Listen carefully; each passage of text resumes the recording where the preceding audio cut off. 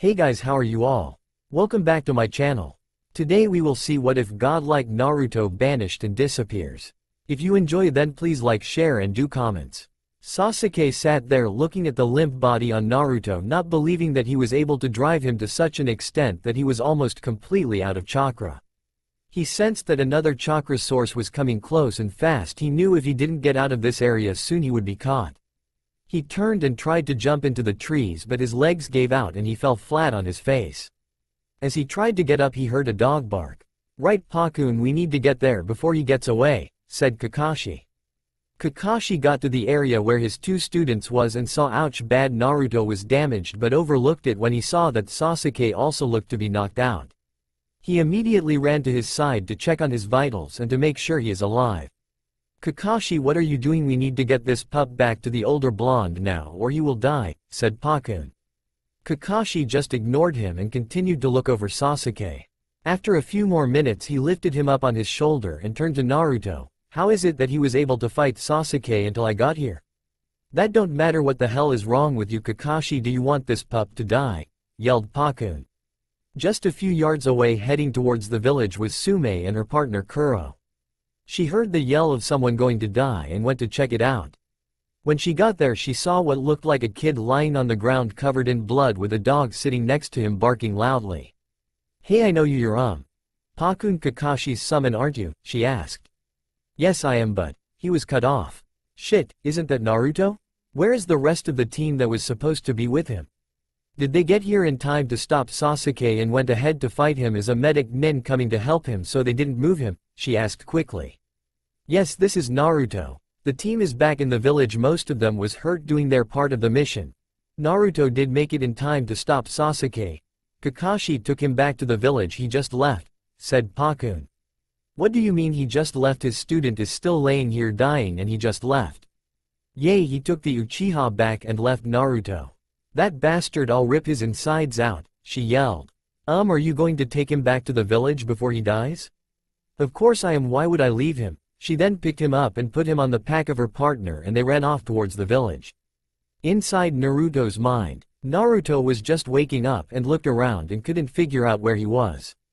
Everything was dark and wet he was sitting in water that he guessed would be ankle deep if he stood up. After getting fully awake and adjusting to the darkness he stood up and wandered around looking for a light switch or a door. Back in the village, Tsunade had just finished clearing Choji and he was now safely off the critical list but was not allowed to leave the hospital for a few weeks until he had all movement back in his body and had replenished the chakra he lost. She was now standing at the gate waiting for Naruto to come back. Standing a few feet back was Sakura waiting for Sasuke to return she just knew deep down that he would come back to be with her. Shizune was still in the operation room working on Neji. Hinata was sitting outside of his door waiting on the news of if he would be okay. She was also worried for Naruto who still has not come back yet. She wanted to cry not knowing if her love and crush would be okay or not. She took her mind off of things by visiting Lee, Choji, Shikamaru, and Kiba. When she was finished visiting she started to talk to Temari who saw her sitting by herself and came to sit with her. Kakashi had just arrived at the gate with Sasuke over his shoulder. Tsunade-sama the mission to get Sasuke was complete but I'm sorry that not all made it, he said with a fake sad tone. Sakura was glad to see Sasuke back. Sensei is he okay, she asked.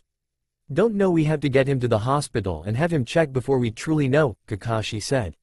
Stop talking and get the bastard to the hospital before I send him to prison without being looked at, Tsunade snapped. Sakura and Kakashi quickly cleared out towards the hospital. Tsunade looked out towards the direction Kakashi came from one last time before she left to the hospital.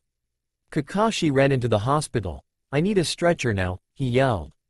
The nurse turned and saw Sasuke and got a stretcher quickly. Hinata saw Kakashi come in and walked over to him followed by Temari, um. Kakashi-sensei, she stuttered nervously. Yes Hinata, he answered. Is Naruto back also, she asked. He looked at her with a fake sad smile, Sorry Hinata. I know how much you like him and it pains me to have to tell you this. But sometimes when a ninja go on a mission of this caliber they don't come home he is in a better place he finally gets to meet his parents, he said. Hinata and Temari were so shocked by this that they didn't move when Kakashi and Sakura walked past them. Slowly they came back to reality, No this can't be please tell me this is one of his stupid jokes. Hinata started to cry. Come on Hinata let's find the Hokage, said Temari pulling the girl into a hug while she cried. They walked towards the door of the hospital when Tsunade walked in. She saw the girls walking towards them and told them to follow her. Look you two there is something going on and I don't like it, she told Hinata and Temari. What do you mean Hokage-sama, asked Temari, Hinata still cried. I told you to call me Tsunade, and I mean something to do with Naruto. I need you two to find Anko and Kurenai and head out to the Valley of Death and see if you can find any trace of Naruto's body dead or alive, she told them. But Tsunade-sama his sensei even said he saw him dead why would he say that if he is not dead, Hinata said with a terribly bad stutter that Tsunade barely understood it. I know what he said but still I want to make sure it's true. Now you can find the two Junins at the Dango spot and hurry I want his body back to me dead or alive, she commanded. They nodded and headed out of the hospital towards the Dango spot. They reached the Dango spot with Hinata still crying hard on Temari's shoulder. Temari looked around to look for Anko since she didn't know what Kurenai looked like. As she looked she saw someone who she thought could be Anko. Hinata Anko is the lady from the second exam right? She felt Hinata nod on her shoulder.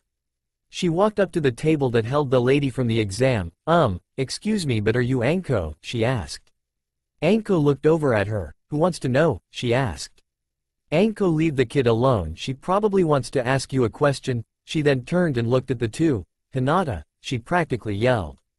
Hinata pushed herself off Temari and jumped onto Kurenai's arms, sensei this is bad. Why did he have to die? She stuttered out while crying.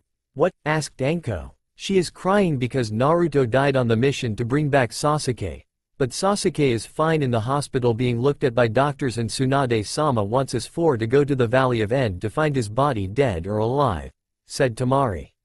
Naruto dead, mumbled Kurenai while rubbing Hinata's back. Well let's get going we have a mission, said Anko. Anko how could you be so rude you know how she feels about him, said Kurenai. I know that but her sitting here crying is not going to make anything better besides I don't think he is dead, said Anko. You mean he could be alive, Anko-sensei? stuttered Hinata. Yay it's Hinata, besides Kurenai do you think it would so easily, she said. You're right Anko, said Kurenai. Come on sensei we have to find Naruto-kun if he could be alive he won't survive being by himself, said Hinata pulling her sensei. Okay Hinata we are coming, said Kurenai. They ran to the exit and was about to leave when a group of dogs and Sume came running by. Move need to get to hospital, Sume yelled. They jumped out of the way and saw the biggest dog had Naruto on its back Hinata's heart skipped at how badly injured he was. Oh no he needs help now, said Hinata running over to Naruto who was now lying on the ground since the dog was dead tired from running so far. She ran up and put her ear on his chest where his heart is and got excited when she heard a faint heartbeat. Sensei he is alive but won't make it to the hospital we need to do something to give him a little extra time, she said. None of you would happen to know any medic jutsus would you? asked Sume. They all shook their heads no with a sad look on their faces. Hinata took off her pack and started to throw stuff out of it onto the ground around her. Um Hinata what are you doing? asked Kurenai. She didn't answer just kept going through her pack until she found what she was looking for, found it, she said happily. She then opened the medium-sized jar up and they all were hit by the fragrance of the smell. It had a lavender smell to it. She started to rub the stuff inside the jar all over Naruto's body she did this with a small blush on her face. Done I hope it gives us enough time to get to Tsunade, she said. No time like now to find out, said Anko grabbing the boy bridal style and running off towards the hospital followed by the rest. They ran into the hospital and looked around and saw everything stop and all eyes were on them. Where the fuck is Tsunade? Anko yelled at the top of her lungs. Anko this is a hospital, said Shizune coming around the corner. No time for games Shizune he needs help now, replied Anko, putting Naruto on the stretcher that Shizune had. You know this was for someone, she finally looked at the person on the stretcher, else. Shit get me a room ready now and go find Tsunade now whatever she is doing it can wait, Shizune yelled out orders. The nurses looked at the boy and didn't move, what the fuck are you doing standing around you was given orders by your superior and you are not obeying them? Asked Anko leaking out her ki. The nurses scrambled to find a free room and locate Tsunade. Tsunade-sama you're needed now. said one nurse running into the room that Sasuke was in. I'm busy I'm sure it can wait, she replied. Um Shizune said what you're doing could wait, the nurse replied. What could be so important, asked Tsunade. The last member of that team was just brought in by Anko, Hinata, Kurenai, Sume, and Temari from Suna, the nurse said. Tsunade glared at Kakashi then headed for the door. Tsunade-sama what about Sasuke, he asked. He is fine all that was wrong was he used too much chakra, if you're wondering I was not going to heal him he is going to stay like that and I'll talk to you later Kakashi. She then walked out the room following the nurse. She walked into the room that held Naruto and saw Sume, Anko, Kurenai, Temari, and Hinata sitting in the chairs that was in the room she also saw Shizune hooking Naruto up to some IVs, give me a report of his condition, she said to Shizune. I don't know how but whatever they did on the way here saved his life even it don't seem to be able to completely heal him for some reason and if we don't act now all the effort to get him here will be in vain, said Shizune. Okay let's get started, said Tsunade. They stood on either side of Naruto and their hands started to glow green and Tsunade worked on the upper part of his body while Shizune worked on the lower part. In Naruto's mind, Naruto finally found a small walkway that led him down a small corridor. As he walked he saw the multiply images of his past and started to run. As he ran the hall got longer, stop, he yelled. It continued, please stop I'll do anything please stop these images, he cried. The images then stopped. Boy stand up and look at me, said a voice. He slowly got off his knees and looked at the figure he sniffed. Who are you and where am I? he asked. You are in your mind and I'm the great Kyuubi no Kitsune, said the figure. What you're supposed to be dead, then the memories of when he passed the Genin exam showed, right I forgot. Don't forget again or I'll kill you, said Kyuubi. Bullshit if you do that then you also die, Naruto yelled. You really think that want to try, asked Kyuubi. Naruto hesitated, no, he said. Good now we need to talk, said Kyuubi. I don't want to talk to you, said Naruto.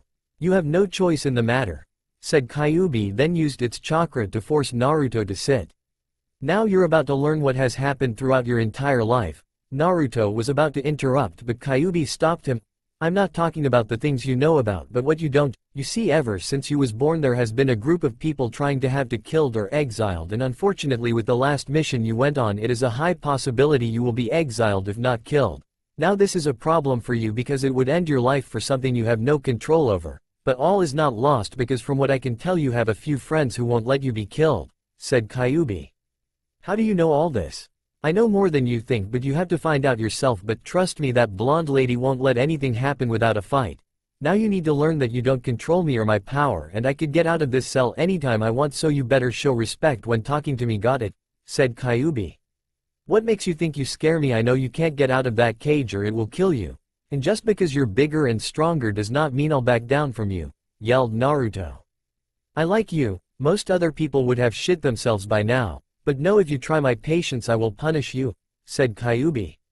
Whatever just because you men are bigger than me doesn't mean I'll just sit by and take shit from you guys I'm tired of being bullied by bigger people, yelled Naruto. Did you just call me a guy, asked Kyuubi. Yes why does it matter you are a guy, he said. A burst of chakra came from the cage and it blew open and Kyuubi was out with a tail around Naruto's neck holding him up against the wall looking directly into his eyes. On the outside, Tsunade and Shizune quickly pulled their hands back when they saw the burst of red chakra come from Naruto's seal they shared a look and looked back down at Naruto. Hinata and Temari looked surprised at the chakra coming from Naruto. Sume, Anko, and Kurenai got ready to fight if they need to. Sensei what's that chakra, asked Hinata. I'll tell you later, but don't tell anyone about this, said Tsunade she just hoped that no one outside this room could feel his chakra.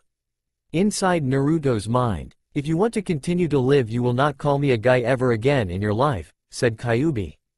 Naruto slowly nodded. Good now if you're lucky I'll train you but first you need to learn respect and it's time for you to wake up and with the help of the two medic nins you're completely healed, said Kyuubi dropping Naruto then using her chakra to push him out of his mind. Back outside, Naruto slowly opened his eyes and moaned out as the light from the room was the first thing he saw. Everyone heard the moan and was up and around the bed and immediately. Ba-chan is going to kill me for almost dying like that, he said while his eyes adjust. Damn right I am Gaki who gave you permission to try and die like that, said Tsunade. Sorry you said to bring Sasuke back, Naruto said finally getting his eyes adjusted. Naruto-kun are you okay, stuttered Hinata. I'm fine, he said. That's good now what happened, said Tsunade. Naruto explained everything leaving out the part about Kyuubi.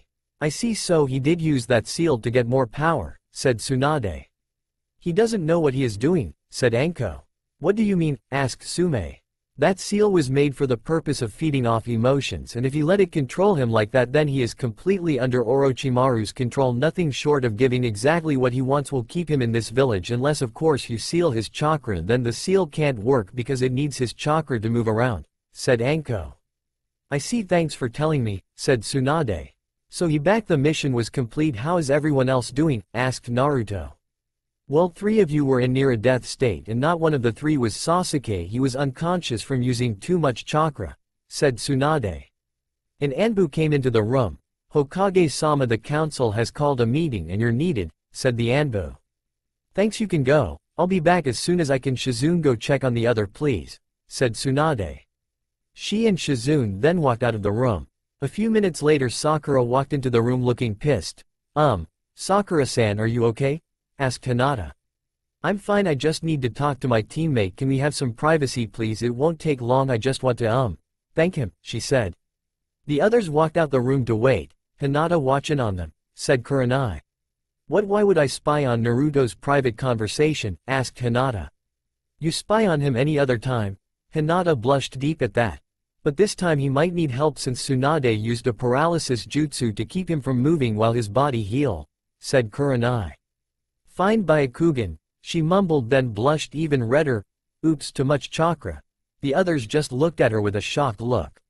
With Sakura and Naruto. Sakura-chan I'm happy you came I even kept my promise and brought him back like I said I would, he said happily. Naruto shut up I asked you to bring him back not hurt him you know how this could mess up his future. No you didn't even think about it you just did whatever you wanted. Why do you have to be so stupid not even able to do a simple request right? I can't stand you I hate you for what you did, she yelled. What but I kept my promise, he said. She started to beat him badly. Promise you almost killed him. He is an Uchiha the last Uchiha and you almost killed him how stupid can you get no wonder your parents didn't want you, she yelled again. Naruto and Hinata had tears forming in their eyes. Hinata ran to the door and tried to open it but it wouldn't. That bitch locked the door that's why she wanted to be alone, yelled Hinata. Hinata what's wrong, asked Temari. She is in there beating him because he fought the Uchiha and he can't defend himself, she said. She what? yelled Anko, Kurenai, and Sume at the same time. Hinata move. Said Anko getting ready to kick the door in. Sakura was getting ready to hit him again when someone stopped her hand and threw her through the door.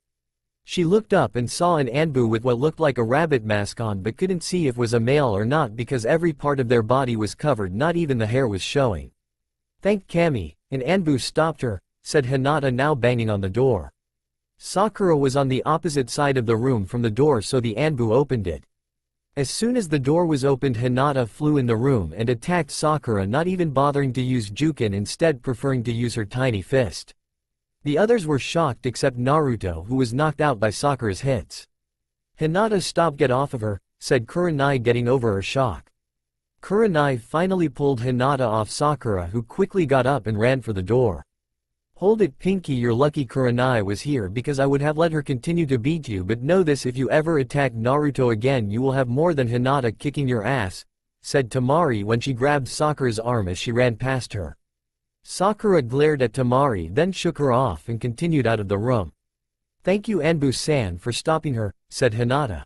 What happened to Sakura she just asked me to heal her, said Shizune walking into the room. Hinata beat the shit of her, said Anko with a smile. What Hinata but she is the sweetest person ever what could possibly make her that mad, said Shizune. Attempt to beat her crush to a pulp and find out, said Sume. Really wow, how is Naruto though? Said Shizune walking up to him. Probably knocked out again, but forget that for now we need to find a way to get Hinata like that all the time she will be kick-ass if we could, said Anko. Anko you will not turn her into a chibi you, said Kurenai. Hell we could turn her into a chibi you with a little bit of me, or a chibi Shizune with a little bit of both of us, said Anko with a hunter look in her eyes while looking at Hinata. Anko stop now is not the time to try and turn Hinata into a chibi anybody, said Kurenai.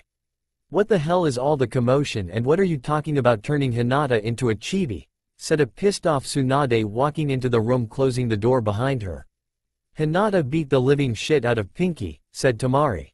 Pinky, questioned Tsunade. I caught Sakura-san beating on Naruto-kun during my patrol around the outside the hospital I threw her off then opened the door when Hinata-san introduced her small fist to Sakura-san's face, said the Anbu. Sakura did wa. Hinata you beat up Sakura for hitting Naruto why, said Tsunade. Hinata blushed now that she was the center of attention she also looked like she was going to faint. Hinata you wouldn't have anything more than a simple crush on my Otouto would you? teased Shizune. Hinata turned bright red and fainted, I'll take that as a yes, said Shizune. This is just great, said Tsunade. What's wrong Hokage-sama, said Kurenai. The council had a meeting on this mission more specifically Naruto and Sasuke, she said. What did they say, asked Sume. Naruto will either be banished or killed and Sasuke will marry the female heir to every clan, said Tsunade. What who the hell do they think they are that they can just offer my daughter off to that traitorous bastard, said Sume. But listen to this Hiashi was the first to offer his daughter and said that she will act as head as the Uchiha since they all voted to have his chakras sealed, said Tsunade. How could he offer her to him without even asking Hinata doesn't even like Sasuke, said Kurenai. Hinata had just come to at that point and looked confused, why would I like him, she asked. Your father offered to have you married to him, said Temari before anyone else could say something. Hinata looked terrified, no I don't want to marry him. I hate him, I want to marry Naruto-kun and help him build a clan. She then stopped releasing what she just said and covered her mouth. Tsunade got a thoughtful look on her face when she heard that. Tsunade-sama whatever you're thinking stop. Said Shizune. Hinata would you do anything to be with Naruto? She nodded, Naruto is being banished for attacking Sasuke so if you mean that I could banish you for attacking Sakura, said Tsunade. Wait what are you planning I know it's more than just banishing Hinata to be with Naruto, said Shizune. Oh it is I'm not staying in this village without Naruto, and since the council want to challenge me I'll play their game it's time for them to know exactly who they are messing with, said Tsunade. I like where this is going, said Sume. Do you want your daughter to marry Sasuke? Tsunade asked. Nope I would rather her marry the pup, Sume said. Good let's wake Naruto up, said Tsunade walking over to him. She started a jutsu that would wake him when his seal glowed red again Tsunade jumped back. Hello everyone, said a voice. Who are you, asked Temari. Who am I? Who the fuck else was sealed in him by that damn Minato? Damn his father if it wasn't for him you wouldn't be having this problem, the voice said. Wait your Kyuubi how are you out of the seal, asked Shizune. Yes I'm the one and only Kyuubi and I could have got out of the seal at any time when I woke up but I decided not to because it would have killed him, said Kyuubi. What are you talking about, asked Tsunade. How is Kyuubi dead didn't the fourth kill him, asked Hinata. Him again with the sexist shit it is starting to annoy me and no he didn't kill me as I said he sealed me and his son although stupid was noble. But what I want to know is why has no one punished the person for killing his mother, said Kyuubi. What are you talking about I thought Kushina died giving birth, said Tsunade. No she was killed I'm guessing the old man decided not to investigate and decided to blame that on me also. Anyway she was killed by a snake I'm sure you all know who did it now. Also I have an idea, she finished. What's the idea, asked Tsunade. If I heard you right the council kicked him out this worthless village and you are planning to take the Hyuga girl. Why not take her sensei to teach her genjutsu, the snake lady to teach her that taijutsu she use. And the Anbu that saved him from that pink-haired bitch to teach speed and stamina. And also weapons, said Kyuubi. That's a good idea what do you all think, said Tsunade. Naruto's father is the Yondaime Hokage, Hinata finally said. Um yay but don't tell anyone, said Tsunade. So let me get this straight, Hinata started thinking. Naruto was used to hold Kyuubi when he was a baby and had no decision, the adults nodded. Then he was blamed for everything. They nodded. They think he a Kyuubi in human form. They nodded. Naruto is the son of the greatest hero in Konoha's history. They nodded again. Okay when do I pack, she finished. Whoa slow down Hinata packing won't be for another two days. We have to finish plans and screwing over the village for what they did, said Tsunade. Wait you just going to up and leave the village but you're the Hokage, said Temari. Look I only came back because of Naruto why should I stay, Tsunade asked. Temari stayed quiet. Okay we all know Hinata is going to now marry Naruto, but I want to have Hana my oldest and heir to my clan marry him also, said Sume. What why, said Hinata. I'm going to use the Clan Restoration Act, said Tsunade. Oh, said Hinata looking sad. Wait how do you even know me, Kurenai, and the Anbu will go with you, said Anko. You just threatened the entire hospital staff when they refused to help Naruto, said Kyubi. I know that they was being stupid for not treating them but all I have is here, said Anko. Anko we both know you are only here because if you left the council would have had every available ninja junin and up out trying to kill you and if I leave you will come with me even if I don't ask you to and since Hinata is leaving I'm going with her, said Kurenai. Fine you always have to have it your way don't you, said Anko. I have a question why did Anko bring Naruto in and not his sensei, I saw him come into the village with Sasuke, asked the rabbit Anbu. The bastard left him for dead, said Sume angrily. Everyone looked shocked at this except Tsunade and Kyubi. He did what when I catch that one-eyed pervert I'm going to beat him to a pulp, said Anko. With Kakashi. Kyubi appeared in a burst of fire right in front of Kakashi who was still in Sasuke's room. He looked up surprised that someone would enter a hospital room without using the door. He looked at her and noticed that he didn't recognize who she was, um, sorry but you're not supposed to be here, he said. Hitaki you will only speak when I tell you to, she said. I don't know who you think you are but you will not speak to me like you're my better, he replied. Quiet pervert I am your superior and if you speak out of turn again I will kill you, she said releasing some of her ki. Kakashi was surprised at how much ki she was leaking he had to release his own to be able to stand his ground. I will speak when I want. Now what are you doing here answer now or I will have to turn you in, he said. You are trying my patience pervert. Now I'm here about your actions earlier, she said. I don't know what you're talking about, said Kakashi. Tsunade ran into the room at this time. Kakashi you're still alive, she said surprised. Why would I not be Hokage-sama, he asked. Shut up you're still being punished for leaving Naruto out there to die, said Tsunade Kakashi gulped. Enough I have had enough of this, Hitaki you have ignored and tried your hardest to keep Naruto from being the ninja he could be since you met him and I am fed up with your treatment of him and this last stunt you pulled almost cost him his life, said Kyubi getting angry. What are you talking about if anything it would do well because it would kill Kyubi, he said. You think I could be killed so easily by this pathetic excuse of a ninja? You're sadly mistaken and the only reason I don't kill you for how you treated Naruto is because he don't know you left him for dead and if I do it would make him depressed. But know this if you do anything to try and stop his growth into a good ninja I will kill you, she said. Your threats don't scare me, I don't know who you are but you will watch your tone when talking to me, he said. Kyubi just looked at him with a deadpan look. Hitaki if your sensei could only seal me what chance do you have when you're not even half as strong as he is, she said. What seal you that means you're, he stopped mid-sentence. The one and only Kyubi, and you have your one and only warning now get out of my sight before I change my mind and kill you where you stand. She said releasing more ki and her nine tails. Kakashi you better be in my office in one hour and don't be late or else, Tsunade said. When Kyubi got in the room Naruto was woke talking to the people who was in the room.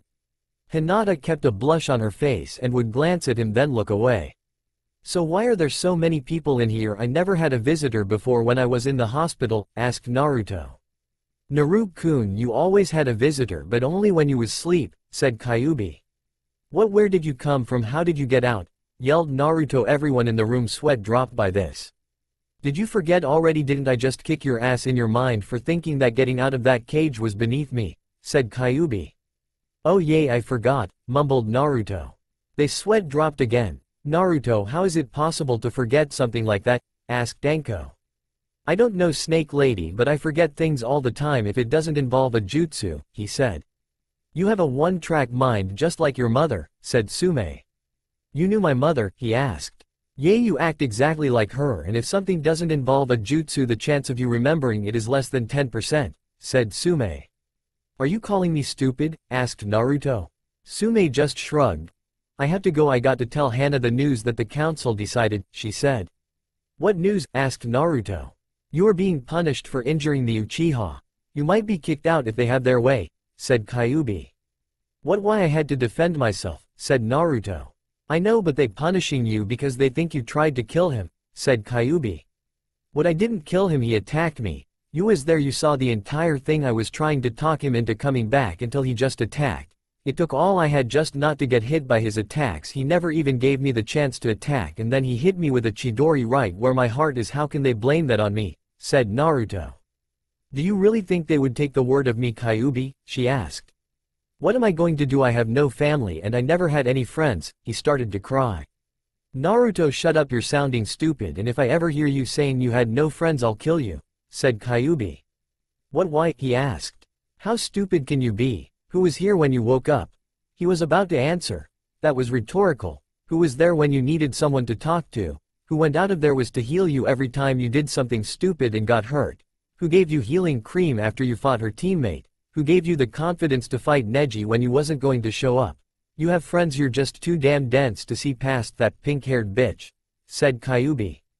Hey Sakura-chan aren't that bad yay she has anger problems but she's still not that bad, he jumped on his feet facing Kyubi defended his crush. This got Kyubi even more mad in a flash her hand was around his neck and his back against the wall at her eye level, not that bad you say? She has went out of her way multiple times to hurt you. She beat you for asking for her help chakra control. She beat you when you asked her on a date when she could have just said no. She beat you every time you mentioned Sasuke name. She beat you just for looking at her too long. Have you ever thought about what would have happened if I didn't heal you after those beatings? No? I'll tell you, you would have been dead a long time ago by your teammate, by that bitch, and you're telling everyone that you love her that she will see you for who you are? News flash Naruto she hates you and every fiber of you and I have had it with you always defending her and this stops now. Listen and listen good you have been near death twice since you woke up this morning and you know who put you there? No? Those two was Sasuke Uchiha and Sakura Haruno, that's right after you came back to the village she came in here and literally beat you into an inch of your life and if it wasn't for that Anbu coming when she did you would have been dead. Do you know who repaid her for what she did? Hinata Hyuga. That's right the only person who have been there when you needed to talk the only person who actually cared for your well-being the only person to actually show you what it is like to be loved and how do you repay her you shove her to the side just to run back to the one who consistently beat you, she said. Naruto was stunned to speak so he just looked at his feet. What you always have something to say why not now too ashamed of yourself good you need to be, said Kyubi. Sorry, he mumbled. What, said Kyubi. Sorry, he said a little louder. Still can't hear you, Kyubi said. I said sorry, he yelled. So what are you sorry for, asked Kyubi. I'm sorry for everything, he said. Be more specific, she said. You can read my thoughts you know why, he said. They can't though tell them they are the ones who need to hear it not me. She told him, and stop looking at your feet and look at them, she added. I'm sorry for not being smart enough to realize that I had friends, I'm sorry that I pushed you away, I'm sorry that I made you cry, I'm sorry that I defend Sakura when I shouldn't, please forgive me, he said. Good now go and ask again for their forgiveness, demanded Kyubi. Naruto walked over to Anko first, Anko-chan please forgive me for everything I did to make you feel bad, he said. Buy me dango and you're forgiven, she said. Okay, he went to Temari next. I know we haven't known each other long but I still want your forgiveness for not trying more to be your friend Temari-chan, he said. Sure you're forgiven, she said. He went to went to Kurenai next, Kurenai-sensei I'm sorry for not showing how grateful I am for knowing you. You have been more a sensei to me than my own sensei and I'm sorry, he said. Naruto don't beat yourself up over it I know you're grateful, she told him. He next walked to Hinata. Hinata-chan I'm sorry for pushing you away, I'm sorry for not talking to you more, and I'm sorry for not telling you thank you for everything you did to help me, but I just didn't think that the princess of Konoha would want to talk to me more than you already did, he said.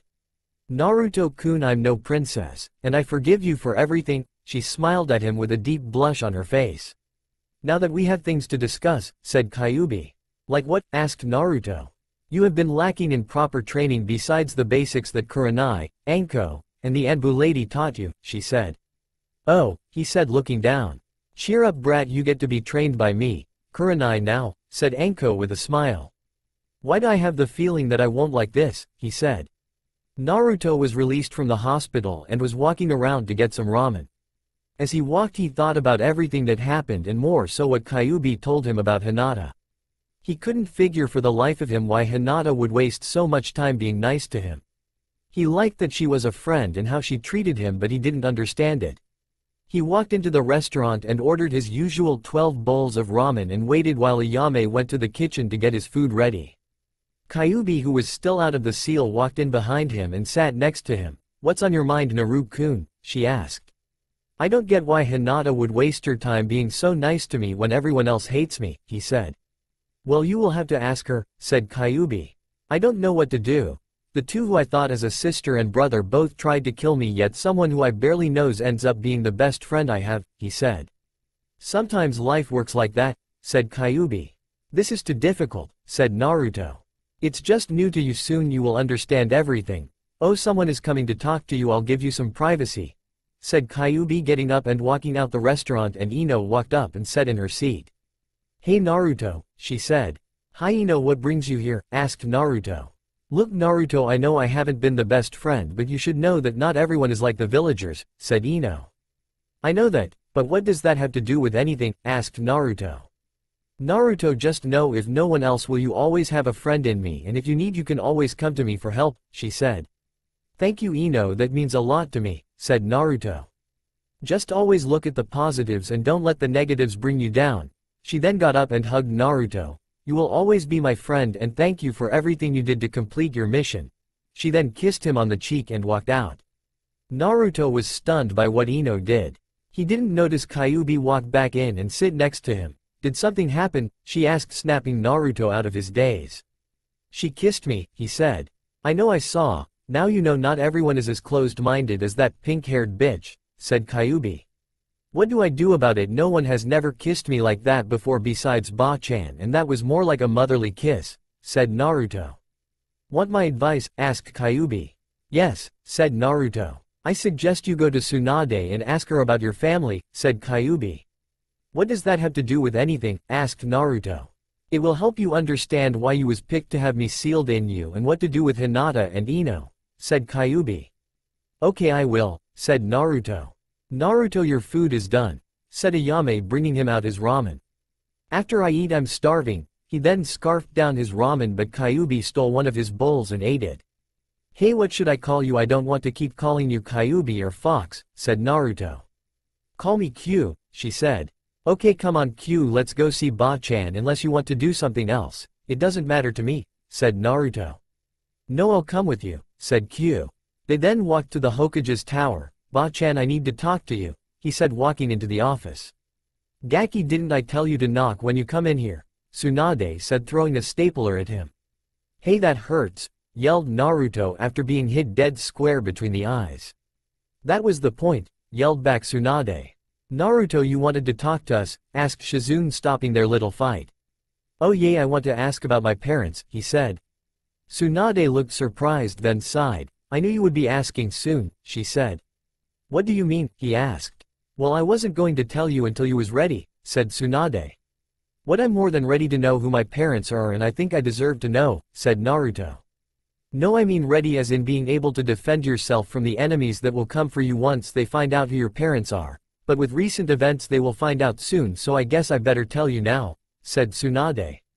Naruto was about to say something but was stopped by Tsunade putting her hand up to stop him. Naruto sit down, she said. Naruto and Kyubi sat down. Naruto what do you think about the Yondaime, she asked. Just then Anko and Ino walked into the office. Tsunade I have a request, she said. Anko it needs to wait. Naruto answer my question, Tsunade said. Well I respect the Yondaime for his strength and his skills. I look up to him as a figure of my goal to be stronger than him and I hope to take his position as a Hokage, said Naruto.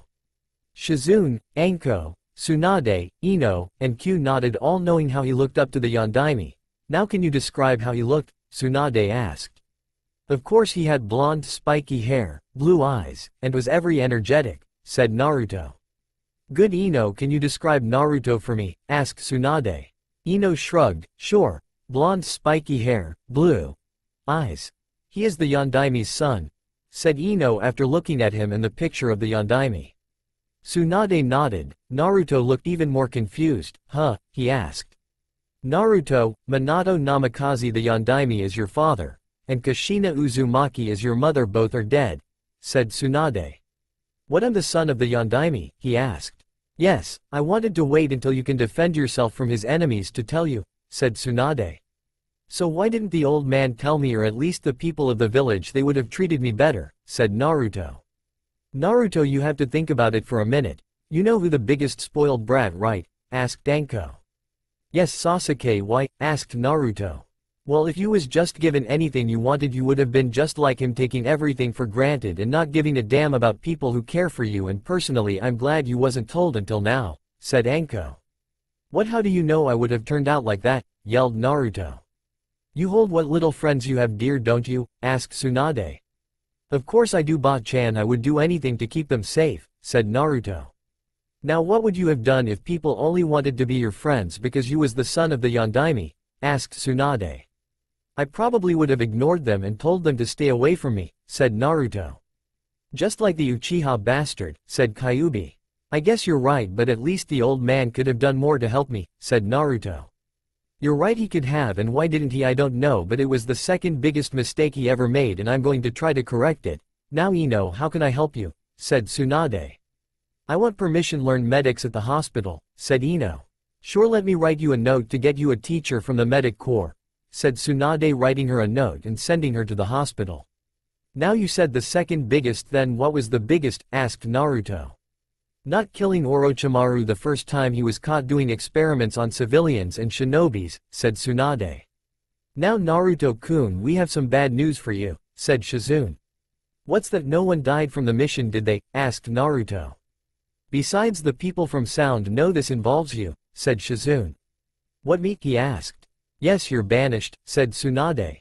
What banished how could you do this to me Ba-chan I thought you liked me what have I done to you, he yelled at her. Naruto it wasn't me I tried everything I could to stop it, but the council went to the daimyo and got his approval to have you banished or executed it was my choice on which one, Tsunade said. Sorry, but why I did everything I was ever told, he said. I know Naruto, but they won't get away with this. I want you to get all your stuff packed. The council have granted you permission to take one scroll with you so use it well. I had Jiraiya send me one of his large storage scrolls for you, Tsunade said. Thank you Ba-chan, he whispered. Don't mention it, but remember you have two days to be gone. I want you to be ready tomorrow morning to leave. Now take this scroll and get packed, said Tsunade. Come on Naruto let's go get packed, said Kyuubi. Oh Naruto you have my permission to pull one last prank on anyone but those from the Yamanaka, Nara, Akimichi, and Aburame, said Tsunade with a wink. Right Kaa-san, he said then ran out the office. Tsunade, Anko, and Shizune looked at where he was just standing in surprise wondering if they heard him correct. Did he just call me mother? asked Tsunade. I think so, said Shizune. He always thought of you as a mother since he met you.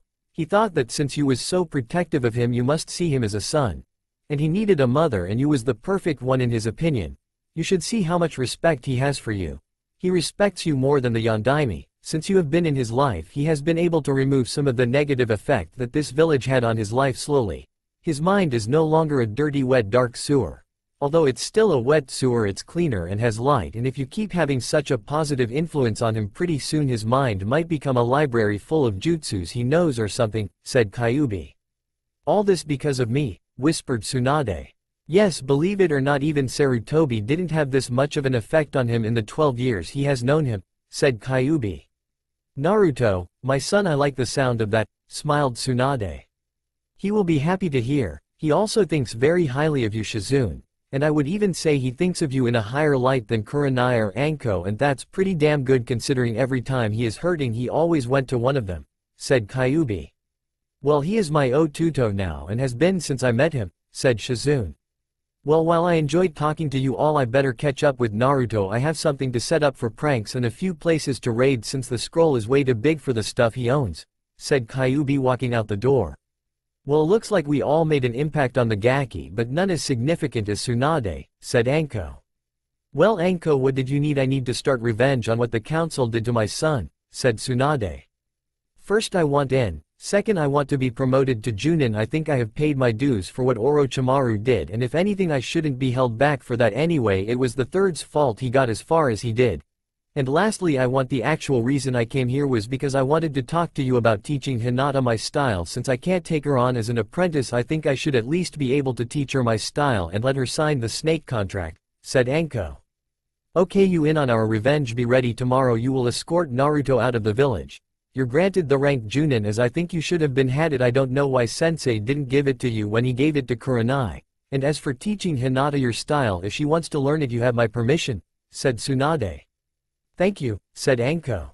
No thank you, said Tsunade. For what, asked Anko. For the idea, I'm going to make Hinata my apprentice can you tell her to come to my office as soon as possible.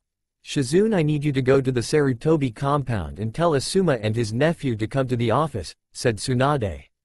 Tsunade started going through her drawers and cabinets in the office until she found a cabinet full with things from Minato and Kushina for Naruto. She shook her head and willed her anger at her sensei away. She couldn't understand how he could just sit back and watch all this happen and not do anything to stop it. She smiled as she knew it all would end soon and Naruto would have a better life. She pulled everything out and set in on her desk and started to seal it until a knock came on the door, come in, she said. You wanted to see me Hokage-sama, stuttered Hinata. Ah yes thank you for being prompt Hinata but I have something to ask you. How would you like to be a medic nin? she asked. I can't, stuttered Hinata. Don't lie Hinata. Tsunade threw a small jar to her, I got that from Naruto when he came with Jiraiya to bring me back when he told me you made it I was highly impressed but looking at your record I don't see anything that would suggest you have medic training, said Tsunade. I don't, Hyugas are not supposed to be medics we are meant to be combat nins not support nins and I'm started to have more confidence in my abilities to be a combat nin, stuttered the little Hyuga. I'm not saying you won't be a combat nin Anko did talk with you about wanting to teach you her style right, asked Tsunade. Yes, said Hinata. Well she is a combat and assassin nin, if you learn her style and medics you will be a combat nin who can also support your team when you needs to, said Hinata. Who would want to teach the failure of the Hyuga clan, asked Hinata. Don't worry about that you will be my apprentice, said Tsunade. Hinata stared unbelieving at her. Please tell me this is not a joke to get my hopes up just to bring me back down and tell me how much a failure I am, stuttered Hinata with tears in her eyes expecting the worst. Tsunade's smile faltered, those bastards have made her afraid to take risks when they would help her greatly, don't worry Hinata this is no joke if you want you will become my second apprentice and also study under Anko until you know everything she can teach you, said Tsunade. Hinata looked at Tsunade then jumped up and down in excitement. She then jumped over the desk and tackled Tsunade in a hug making her fall back on her chair. This is the best news ever. I will do everything to make you proud of me, said Hinata. Don't worry Hinata I know you will work hard all that I ask is to believe in yourself, don't be afraid of risks, and work on not stuttering, said Tsunade. Hi I will work on it, said Hinata with a little stutter. Good now go get packed we are leaving tomorrow, said Tsunade. What tomorrow I thought you said we had two days, asked Hinata. Yes I'm not staying in a village that banished my son more than I have to, said Tsunade. Son, asked Hinata. He is like a son to me and he called me Kaa-san without even thinking about it, said Tsunade. I see well I'm going to pack, said Hinata. Here is a scroll pack whatever you can fit in it. Remember you might be away for a while so you will need scrolls to help you with your Juken style so make sure you pack plenty of those scrolls, said Tsunade. Hi I'll be ready tomorrow. She then ran out of the office to leave Tsunade to do what she was doing. Asuma and nephew came in, Hokage-sama you wanted to see us, asked Asuma. Yes I want you to sign the monkey contract, said Tsunade. I don't think I'm ready for that yet and Konohamaru does not have the chakra capacity to sign it, said Asuma. I wasn't requesting I was telling you both to sign it now, said Tsunade. Asuma sighed and signed the scroll with Konohamaru. Good now Asuma summon the highest monkey you can, Tsunade commanded. Asuma summoned a monkey, so you finally signed the contract, asked the monkey. Didn't have a choice and I would have signed it anyway, said Asuma. Excuse me can you have King Enma come talk to me as soon as possible? Tsunade asked the monkey. Sure. The monkey then disappeared and King Enma was in his spot. How can I help you Tsunade? asked the monkey. I want to ask you if someone who is not in the Sarutobi family can sign the contract, she said. That depends, said the Monkey King. Tsunade-sama you're not talking about Naruto are you? asked Asuma. How did you know? asked Tsunade. Is the rumor true? asked Asuma. Sadly it is, Naruto is being banished by the council, said Tsunade. What they can't do that to Nii-san, yelled Konohamaru. Unfortunately they can this time Konohamaru since they have the daimyo backing them on this, said Tsunade. I'll think about it Tsunade, is this all you wanted, asked Enma. Yes thank you for hearing me out, Tsunade said. No thanks are necessary what the council are doing is wrong. But don't let them get away with this and you must punish the Uchiha or I won't even consider it, said Enma. I was going to do that anyway, said Tsunade. Good, now Asuma you will take your father's position as the head of the contract and when Konohamaru is old enough you will be able to pass it down to him, said Enma. Okay, said Asuma. Enma then disappeared. Should I get you a copy of father's scrolls from the house, he asked. That would be most helpful, said Tsunade. Good day, then Asuma and Konohamaru left. Shizune walked in the office, I hope you don't mind that I took the liberty of putting everything in the Namikaze compound inside a few scrolls and have them with me now, she said. Good thinking Shizune. I need you to do the same thing at the Senju compound while I go to the Hokage library, said Tsunade. Naruto and Kyuubi was walking through the village since they had already packed the things from Naruto's apartment that they thought that Naruto would need. Kyuubi had managed to convince Naruto that he should not take his orange clothes but get some new ones that he wasn't so noticeable. He argued that he didn't have any money and no one here besides Tenten's shop would sell anything to him anyway, she told him they would worry about that later tonight. So here they was walking looking for something to take up the rest of the day since it was too early to set up the pranks they had planned. Naruto Nii-san, they heard. Hey guys, Naruto said turning around and seeing Konohamaru, Moegi, and Udon running up to them. Naruto Nii-san why do you have to leave, asked Moegi. I can't do anything to stop this from happening, but while I'm gone I want you three to promise you will train hard, said Naruto. We promise, they all said. I have an idea, said Q. What's that Q, asked Naruto. Let's prank everyone who is not your friend, she said. Sure but won't they try and execute me if they know it's me, asked Naruto. Then we will disguise ourselves so no one knows who we are, said Q. Let's do it, said Konohamaru. Okay.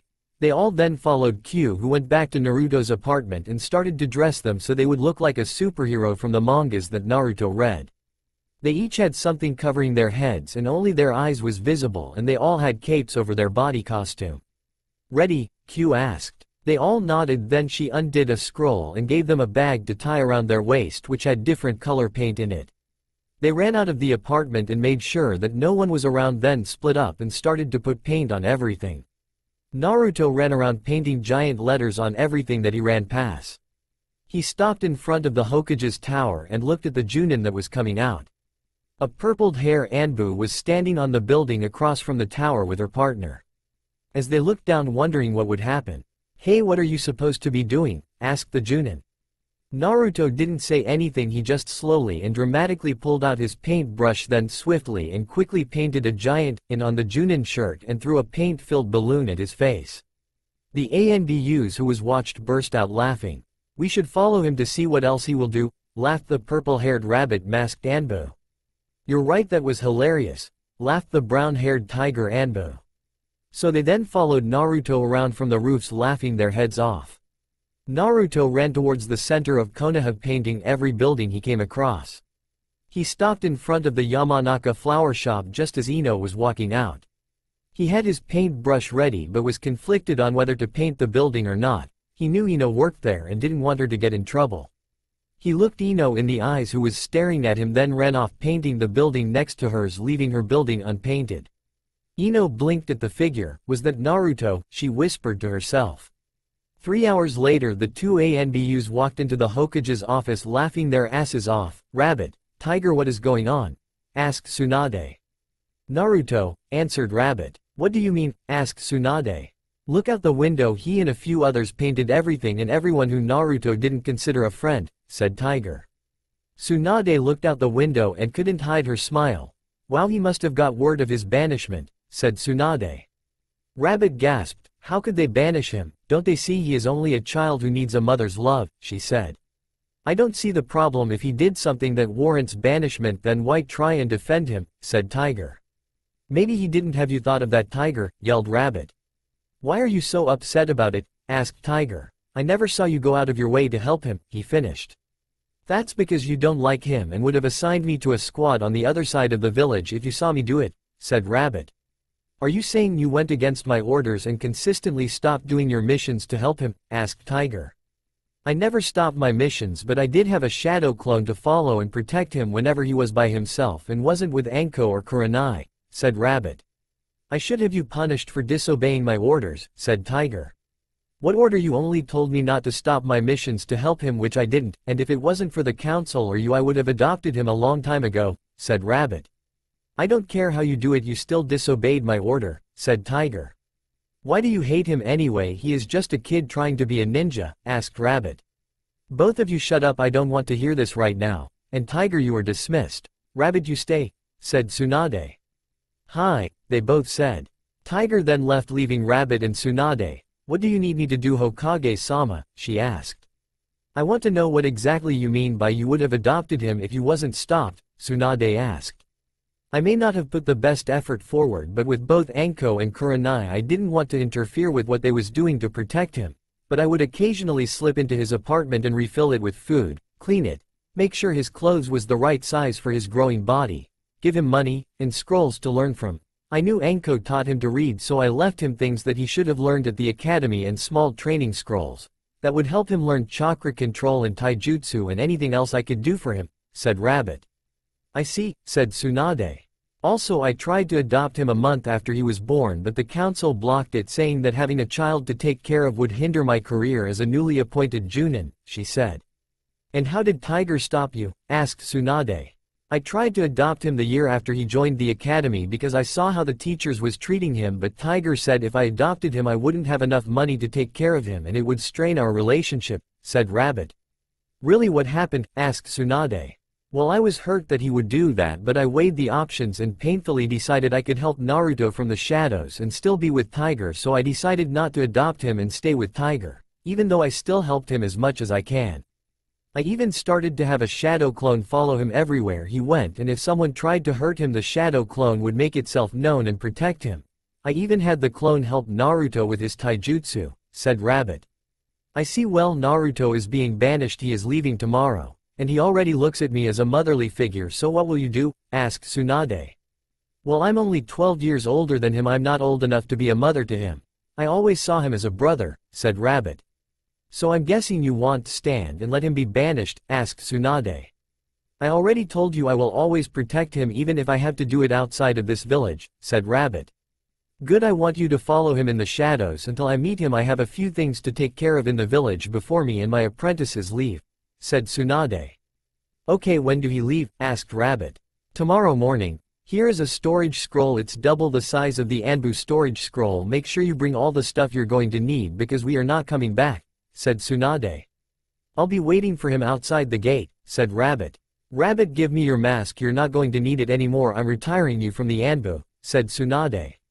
She took off her mask and handed it over. I'm going to miss that mask it helped a lot when I didn't want to listen to Tiger I was able to let my eyes wander without being caught, she said.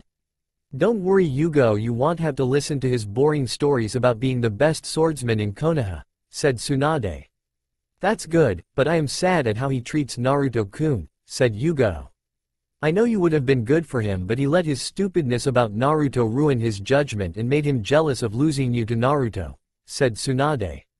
Yugao laughed, it's not like I was going to marry Naruto-kun, said Yugao. Yay I know, said Tsunade. Or not yet anyway since I get to actually spend time with him now if you want I would be willing to marry him, said Yugao. Let's not corrupt my son until he is at least Junin level, said Tsunade. I want I'm going to get packed. I have somethings to get from the Anbu HQ that will help us on our departure. I'll make sure I grab extra just in case we have more followers who want to join us, said Yugao. Good idea because eventually Ino will join us maybe not now but in a few months she will leave Konoha and join us, said Tsunade as Yugao left.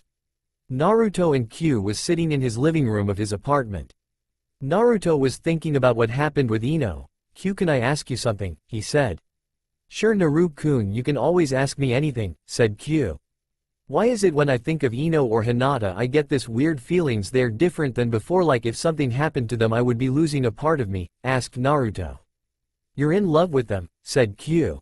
What how can I be in love with them ain't it wrong to love two girls this much, asked Naruto. No Naruto let me tell you something, you have my youki running through your system and it makes your feelings for people stronger, and when you find someone who you like more than usual your feelings for them will be confused until you can figure it out, but I can tell you now from the way you are thinking about the two of them that you are in love, said Q. So I'm in love what do I do, asked Naruto. Don't ask me I'm not a human remember, I don't have human emotions but I do know that my youki is influencing who you fall in love with as if it's approving or disapproving of the girl. And if you find someone who my youki approves of you should do everything you can to tell that person how you feel, because more times than not they will love you back, said Q. So it's like a guide in the right direction, asked Naruto. Exactly, but it's late and all the stores are closed now. Make a few shadow clones and we will send them to start the pranks while me and you go shopping, said Q. Shopping all the stores are closed how are we going to get in them, asked Naruto. Leave that to me, let's go we only have a few hours before the village alarm system activate and make it almost impossible for you to even leave your apartment without Anbu being on your tail, said Q. Okay I'm ready what do I need, asked Naruto. Just bring all the small storage scrolls you have and the scroll Tsunade gave you we are going to put the stuff we get in the small scrolls before we put them into the large scroll, said Q. They jumped out the window and headed towards the closest store that sold shinobi clothes. Wait Q this store is owned by Tenten father, said Naruto. Okay, said Q. Let's not go in there because Tenten was nice to me and she was helpful when I asked her to train with me, said Naruto. Fine we will go to the second largest shinobi store, the one that only ANBUs are allowed in, said Q. Then went across the village and Q checked to make sure that no one was in the store or around so they could get in. After confirming the coast was clear she grabbed Naruto and used a demonic jutsu to get inside the store. They walked around looking at the different weapons and clothes. Q what should we get, asked Naruto. First we both need new clothes, pick a color that's not orange, she told him. What about the colors that my mother and father wore, he asked. From what I was told that's a good choice your mother wore red and your father wore white, she said. So that's where I got orange from, it's the middle of my parents' colors, said Naruto. Him that could work, but we have to make the orange darker. You can get a month worth of outfits in dark orange, said Q. So I can still wear orange, Naruto asked. As long as it's not noticeable you can't, she answered. Naruto pulled up two shirts one is dark orange almost dark red and the other was light orange almost white, how about these two shades of orange, he asked. Those are fine they're not too bright, she said. Okay I'll get 15 outfits in each color, said Naruto. Okay I'll be right back I'm going to the kunoichis section, said Q. Q walked away and was looking at the other color of clothes and saw something in a lavender color which reminded her of Hinata. She then got a few outfits in different shades lavender for Hinata. She then continued to get herself some clothes in black and red. She was walking past the weapons picking up some kunais, shurikens, and senbons. She was looking at the other weapons and saw the katanas and thought that they was too normal to other ninjas and started to look for something else that would match Naruto's personality and stand out from all other weapons. She then walked past two katana handles, basically a lightsaber from Star Wars. She looked at them and read the directions of them. This weapon is called elementals, it allows the user to channel their chakra through it and create any weapon they want and as long as they have the chakra to support the weapon it is indestructible.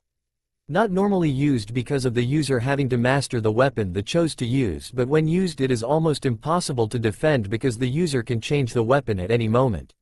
She looked at both of them then picked them up and put them in the weapon scroll.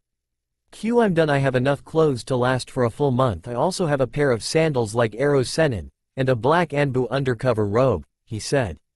Really go grab a few more of those robes we might need them, she said.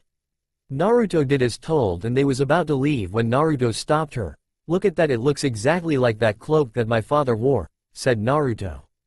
Kyuubi looked at it, it does don't it, you should take it, she said. Right, Naruto walked up to the cloak and grabbed it and put it on, it's too big, he said. No Naruto clothes like that you have to channel chakra to make it fit you, she said. He did as told and the size shrank so it fit around him as if made for him. They have a lavender one. I'm going to give it to Hinata as a thank you and a sorry for everything, he said. That's a good idea, said Q. He grabbed the cloak then walked over to Q. What next, he asked. To the shinobi library, she said. Cool but don't they have cameras there, asked Naruto. They don't have cameras in the library who would think to steal from a library Naruto, asked Q. I guess you're right, said Naruto as they jumped across the village to the library. They reached the library and Naruto was able to squeeze through the small window that was left open above the back door then opened the door for Kyuubi. The scrolls in here should be sorted by element and rank. Take a scroll and put a copy of every scroll in it but only keep like elements in each scroll, she told him. Later that day Q shook Naruto to wake him up since they would be leaving soon. He went to shower and put on his regular orange clothes since Q told him he couldn't wear his new stuff until they was out of the village. Hey Q how are we going to give Hinata her gift, asked Naruto. Don't worry we will give it to her later, Q answered.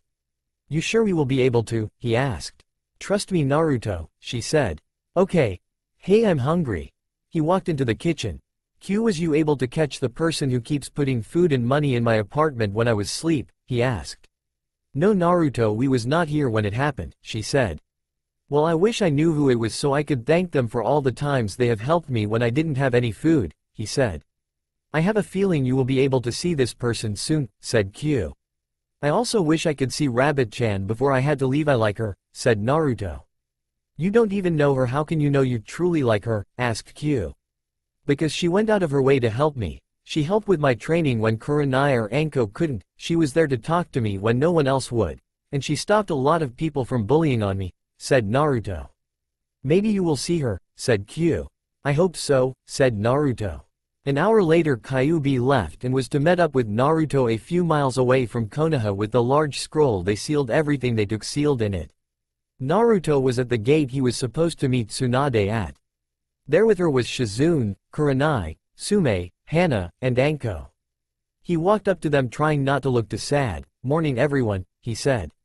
I'm going to miss you pup, said Tsume. Don't worry Nissan we will not let you travel by yourself for long trust your owness and I will join you real soon, said Shizune hugging him. I wish I could stay with you, he told Shizune while he hugged her back. Naruto you're like a brother to me also and no I will not let this go without doing something about it, said Kurenai hugging him. Thank you for everything Kurenai Onee-san, he said. Naruto, Hana said getting down to his level. Know that I'm always here for you and I will not be marring that Uchiha. Soon when I get everything settled out with figuring if I want to become clan head or not I will let you know. And so you know I will be in line to marry you when you're ready. She told him in his ear so no one can hear. I love you Naru-kun. She then kissed him. Naruto smiled. Thank you Hana-chan I would be honored to marry someone as strong and beautiful as you, he said back into her ear. Uzumaki Naruto, Tsunade said trying to hide her pain of having to do this. You are hereby banished from Konoha until the Hokage and council deem you are fit come back. Please remove your Hitai-ate, she said. Naruto held back a tear and removed his Hitai-ate and gave it to her. She bent down to his level. Don't worry son I will be joining you soon. She whispered then took the Hitai-ate. Bye Kaa-san, he whispered. Anko you are to escort Uzumaki Naruto out of Fire Country, Tsunade said. Right let's go Gaki, she said. Okay, Naruto then followed Anko out of the village. He looked back and saw Tsunade wipe her hand across her eyes. He turned and tried not to cry. Chin up Gaki don't let those old bastards get to you, said Anko. But they took everything away from me just because they don't like me, took me from my cousin who I only had for a few days, he said. Look Naruto not everyone agrees with what the council decided but we can't just stand up and go against them, said Anko. That's the same thing Ino said, replied Naruto. She was right Naruto you know I won't do anything to hurt you. You're like a brother to me. Maybe one day we will be more, said Anko. What do you mean, asked Naruto. We will approach that bridge in a few years when you're older, but no I'm not here to escort you I'm your protection for now, said Anko. Huh, asked Naruto. Look you have the Kyuubi sealed in you and I am Orochimaru's ex-student if they are willing to banish you for something that happened when you was born what do you think they will do to me when Orochimaru attacks the village again, said Anko. I guess they will blame it on you since I'm not there, said Naruto. Exactly that's why I took this chance to leave with you so at least we will have each other's company, said Anko. You're right I'm looking at this the wrong way this way I actually have someone who wants to train me and help me when I need it, said Naruto. Exactly, said Anko. They walked a few more miles not noticing Yugao who was following them from the shadows. As they walked they was stopped by Itachi and Kisame. Anko cursed under her breath. You two wouldn't let us walk past and act like you didn't see us would you, she asked. Anko we have no problem with you step aside and let us take Naruto, said Itachi. I'm sorry I can't do that, she said. Can I kill her, said Kisame. Knock yourself out, said Itachi. That would do us a great favor if he knocked himself out, said Naruto. Shut it brat you're coming with us once I handle your guard, said Kisame as he attacked Anko. She pulled out a kunai and blocked his Samehada. Itachi watched them for a while then turned towards Naruto and started to walk towards him. Yugao dropped down in front of Naruto. Hold it Itachi, she said. Who are you? asked Itachi. That don't matter if you want Naruto you're going through me, she said. Itachi looked and assessed the situation.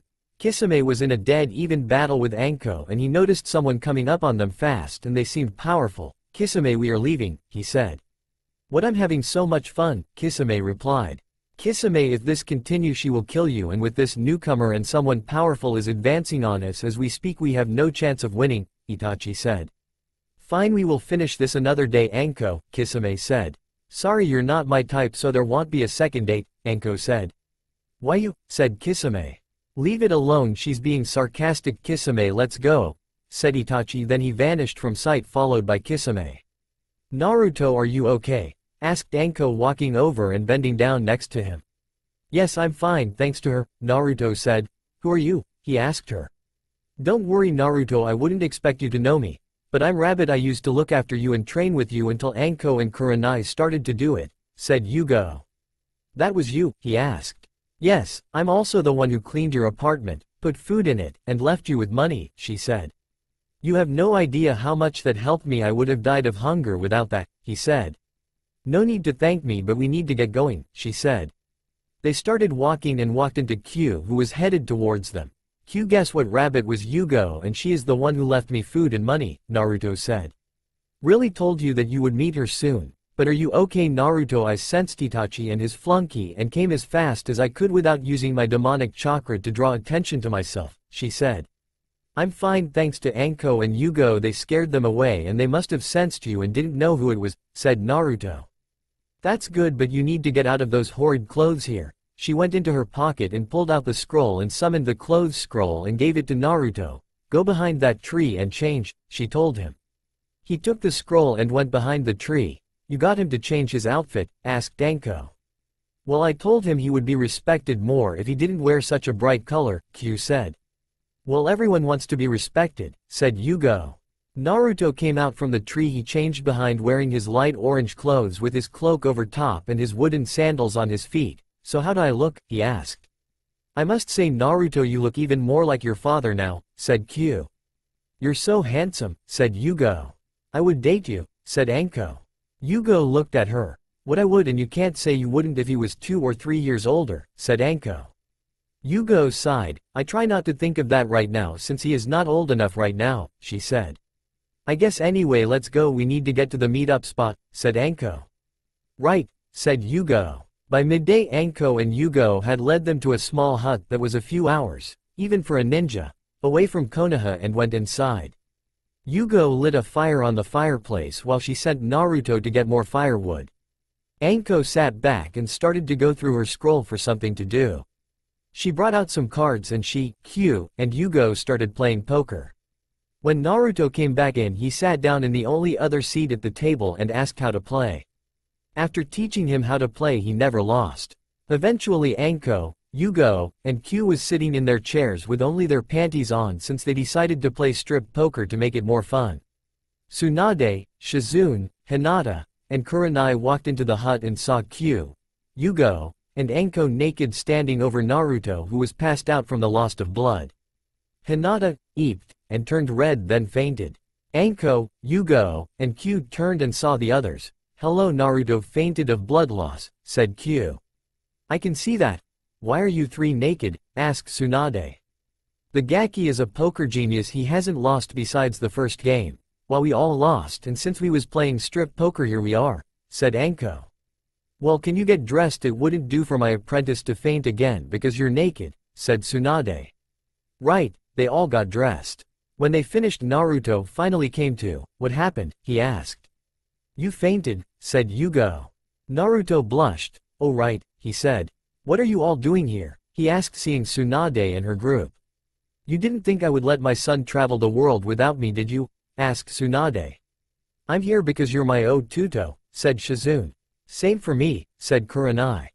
Hinata is my apprentice also you're now Jiraiya's official apprentice and don't have to worry about being banished I made a few laws to aid you although you still can't go to Konoha they can't send anyone to kill you, Tsunade said. Hinata finally woke up. Ow. My head hurt, she said rubbing the spot she hit when she fell back. Hinata finally we all need to talk, said Tsunade. First I have something for Hinata. Naruto said getting the scroll he put it in and gave it to her. This is my way of thanking you for everything and saying I'm sorry, he said. Hinata looked at him noticing his different clothes. Naruto-kun you look handsome, she said with a stutter. Hinata what did I tell you about that, said Tsunade. Sorry I'm working on it, she said. That's all I ask but Naruto you do look nice why the change, asked Tsunade. Q said I should change my way of carrying myself if I want to get respected and it starts with wearing respectable clothes and I got this cloak because it looks like the one my father wears, he said. Naruto I'm proud that you are trying to better yourself and looking at the positives, said Shizune. Ino told me I should look at the positives instead of the negatives and I will have better results, he admitted. She was right Naruto. Now Hinata what did he get you? asked Kurenai. Hinata opened the scroll and put a little chakra into it to get the gift. She pulled out a lavender cloak like Naruto's and another scroll that was labeled, Clothes for Hinata, Naruto-kun, thanks so much, she said hugging him. She pulled back and put the cloak on, push your chakra into the cloak, Q said. The cloak then fitted her as if made for her. Naruto that was a great gift, said Kurenai. Now let's go over what everyone have, said Tsunade. I'll go first, said Anko, I have a copy of all the elemental scrolls that was available at the Junin library, and everything I own, she said. Me and Naruto have a month's worth of clothes each. We also got Hinata a month's worth of clothes that we thought she would like, a few hundred kunais, shurikens, and senbons. We also raided the shinobi library, said Q. You raided the library, and where did you get the weapons from? asked Tsunade. The Anbu store since he didn't want to raid the store owned by Tenten's family, said Q. I knew scheduling myself to watch the store last night was a good idea, said Yugao. Also I have an Anbu mask for everyone here and a few extra just in case so when we go on missions and don't want anyone to see our face we can be covered. I also have a copy of all the scrolls from the Anbu library. And everything I own, Yugao said. I have everything I own. I also have the scrolls from the Uchiha compound, said Kurenai. How did you get in there? asked Shizune. Well it wasn't hard all I did was get Sasuke's permission to get him a few scrolls so he can start to train even though he was still in the hospital, said Kurenai. You never went back to see him did you, asked Anko. Nope didn't need to I got what I needed from him and that was his consent to enter the Uchiha compound, Kurenai said. Well I have every scroll from the Namikaze and Senju compound plus everything I own, said Shizune. I have a copy of every scroll from the Sarutobi compound Curiosity of Konohamaru and Asuma. I also have a copy of every scroll from the Hokage's library and everything I own, said Tsunade. Well I have a copy of the scrolls from the Hyuga main family library although they all are on the Juken and Hyuga attacks. I also have a few pictures, and all my mother's belongings. I don't know if it useful but I also was able to get this box that was hidden under my father's desk in his office. It has the name Kushina on it but I didn't know who that was, but I took it because it was in my mother's writing, Hinata said. Let me see that box Hinata Kushina is Naruto's mother, why would Hiashi have something with her name on it? said Tsunade. Taking the box from Hinata and opening it, there was a letter in it so she read it out loud. Hana if you're reading this then something happened during my labor and I didn't make it. I want you to take care of my son, I know your husband don't like me but he is friends with Minato and if he is doing what I think he is going to do to stop Kyuubi then we both will end up dead and you're the only one in the village I trust to take care of him. I know the third will try and take care of him but he has a history of making the wrong decisions or letting his council sway his decisions and I don't want Naruto's fate to be in their hands. In this box is a scroll to all my jutsus that I own. It can only be opened by my son so even if the council finds it they can't do anything. I know it might be soon but I want you to teach Naruto my jutsus as soon as he starts the academy so when he become a genin he will have a good library of jutsus memorized. Please take good care of my son Naruto Uzumaki Namikaze your friend Kushina. She looked up at Naruto and he was crying silently. Naruto you can start learning these jutsus whenever you want, she said. Okay Kaa-san, he stuttered. Let's get off this subject it's hard for Naruto, said Shizune, as the newly appointed Chunin was crying. Anything else in the box? asked Shizune. Yay a few pictures, said Tsunade. She pulled out the first one which had Hana standing in an open field with Hinata on her shoulders. The second had Kushina, Minato, and Naruto in the hospital room. She gave the pictures to the two. All that's left are two jutsu scrolls one from Kushina and one from Hana, said Tsunade. I think we should get moving since it would get their minds off what they were just told, said Q. Yes you're right, said Tsunade. Here are your masks, said Yugao pulling out seven masks. Hinata grabbed a cat. Naruto grabbed a toad. Q grabbed a fox. Shizune grabbed a sparrow. Tsunade grabbed a slug. Kurenai grabbed a lion. Anko grabbed a snake. Yugao kept the bear. Okay whenever we travel if we are between towns we will wear these clothes and no matter where we go we will go by our animal names, said Tsunade. Why? asked Naruto. If you go around calling yourself Naruto you will be easier to track, but if you go by an alias it's harder to find you, said Tsunade. Okay so I'm Toad, he said. I'm a fox and I'm being called Fox because of my mask how ironic, said Q. We can switch if you want to, said Hinata. You sure? asked Q. Yes I don't mind going by the name Fox, she answered. Okay. I'm now Cat, said Q. Is everyone else satisfied with their mask? asked Tsunade. They all said yes. Good let's go somewhere so we can make a little money, she said. You're not going gamble, said Shizune. Why not if Naruto is as good as they say he should be able to win back what I lose? I haven't been able to gamble in a few months at least let me do it once, said Tsunade. Later, said Shizune. Fine where are we going, asked Tsunade. Maybe we should look for some of Orochimaru's old hideouts that he have around here. Never know what we will find that we could use, said Anko. Why would we go looking for his hideouts wouldn't that cause us more trouble, asked Hinata. Usually but not since he messed up our lives we will mess up his by destroying every hideout we find that belonged to him, said Tsunade. Okay the first one is near Wave, said Anko. How do you know that, asked Naruto. He used to be my sensei, that's where he took me when he gave me this curse mark, said Anko. Okay we will head to Wave, but we still need a schedule for them, said Tsunade. I'll train Hinata in taijutsu at noon, said Anko. All the two in using a katana, speed, strength, and stamina starting at 6 in the morning until 10 inches said Yugao. I'll train them in medics and teamwork, said Tsunade. I'll do genjutsus, said Kurenai. I'll start them on their element training, said Q. I guess I'm stuck with strategies, practical stuff, and teaching Naruto taijutsu, said Shizune. After traveling at full speed for a few hours they finally reached the border of Wave Country and Fire Country. First before we continue I have something for Hinata and Naruto. Tsunade said pulling out a scroll. She unsealed it and gave the two a black Chunin vest. They was green but I had them modified so that no one would associate us with Konoha, she told them. By modified she means she had me dye them and take the swirl off them, corrected Shizune. Did you have to tell them that? asked Tsunade. Shizune just shrugged. Is this real? asked Naruto. Yup as real as it gets Gaki, said Tsunade. So we are Chunins, he asked. Very much so, now stop gawking and put it on we have to get going before Danzo's Root catches up with us, Tsunade said. Okay. Wait Nee-chan can you remove the sleeves on my coat, asked Naruto. Sure but why, asked Shizune. Because it would be easier for me to move my arms if they wasn't restricted by the sleeves of my coat, said Naruto. Okay. Give me your code I'll have it modified in a few minutes, said Shizune. Hinata while this is being done I need you to sign the snake contract, said Anko. Okay Anko, said Hinata. Done Naruto. Shizune handed him back his sleeveless cloak. He grabbed it and put it on over his Chunin vest he wore proudly over his orange t-shirt. Wow Naruto you look great now with the vest and sleeveless cloak, said Shizune. Okay Anko where is this hideout, asked Tsunade. Follow me, said Anko. In Konoha, Jiraiya was sitting in the Hokage's office. He sighed as he looked over the decrees that Tsunade made.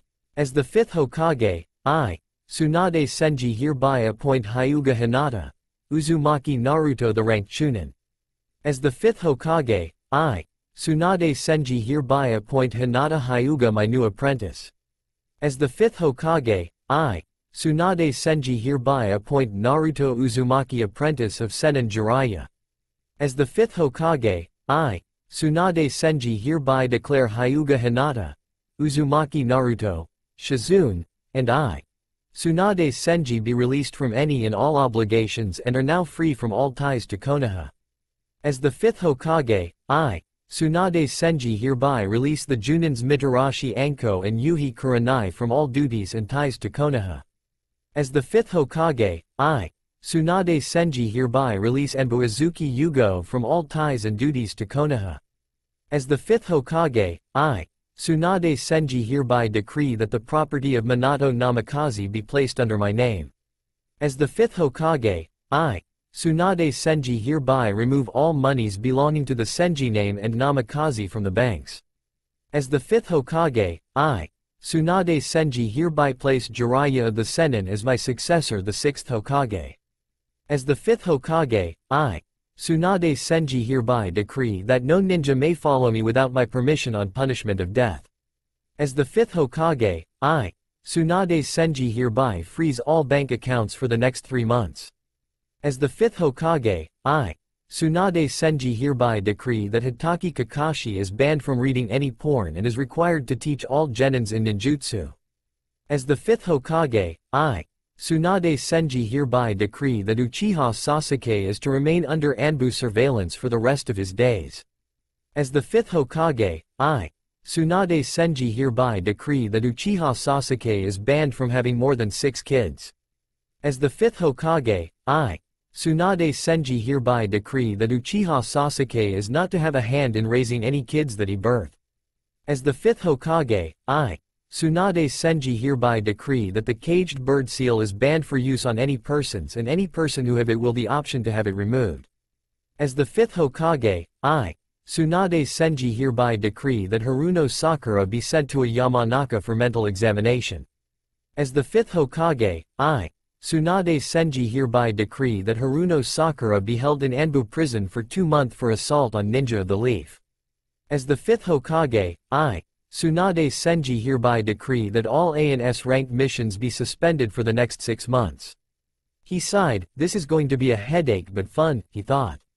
There was a knock on the door, come in, he said. Ino walked into the office, how can I help you Ino, he asked. I was given this order by Tsunade to have the doctors at the hospital teach me medics but so far everyone has refused to teach me, she said. I see let's go to the hospital then, he said. They walked into the hospital. Hello who is the doctor in charge here today, asked Jiraiya. Well I am sir, said a doctor walking up to them.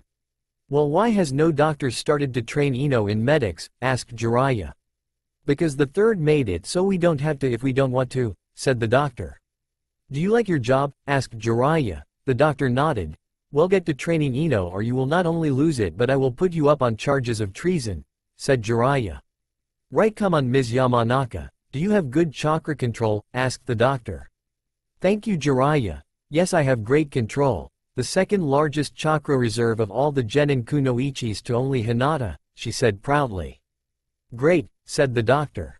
Jiraiya sighed, I'm going to have to watch to make sure she is being taught right. He thought then he made a clone and sent it to spy on their training to make sure she was being taught right. Sakura was sitting in the room with Sasuke thinking over everything that happened. She was told she would be able to marry Sasuke if she wanted, and have his children. She thought this was the greatest thing to happen to her since she became a genin. She started to get hungry and got up and left. She saw Ino walking with a doctor and ran to join her. Hey Ino hold up, she called out. Hi Sakura, said Ino. I was wondering if you were going to marry Sasuke, said Sakura. No I don't want to. I used to like him just as you did but after recent events showed me his true colors I don't want anything to do with him, said Ino. But you always wanted to be with him, said Sakura. I know Sakura but people change I saw what his actions caused my friends, our friends, and I decided I can't be with someone who would cause so many to be injured just for personal revenge, said Ino. I see, I confused I don't know what to do I might have ruined my friendship with the one person besides you who actually was nice to me all because of I like Sasuke said Sakura. I heard about what happened with you and Naruto and I must say I am disappointed but I think if you try hard enough he will forgive you and become your friend again but only if you step up and admit to everyone that you was wrong, said Ino. Thank you Ino you always knew how to make me feel better, said Sakura. What kind of best friend would I be if I couldn't make my best friend feel better, do you want my opinion on what you should do, asked Ino. Yes, said Sakura. Go find Jiraiya and apologize to him for how you treated Naruto and do everything you can to let him know you're trying your best to change yourself for the better and he might find someone to train you, said Ino. Thanks I'll do that now, I'll come by your shop later and tell you how it went, said Sakura. Okay bye I have to get going I have training, said Ino as she ran to catch up with the doctor. Sakura ran out the hospital to find Jiraiya. She looked everywhere, he wasn't even in the Hokage tower where he was supposed to be. She gave up and started to walk home as she passed the bathhouse she heard a giggle. She went to check it out and saw Jiraiya peeping in on the bathhouse. Excuse me you shouldn't be doing that, she said. Jiraiya looked over at her. What do you want Haruno? he asked. I want to talk to you about how I treated Naruto, she said.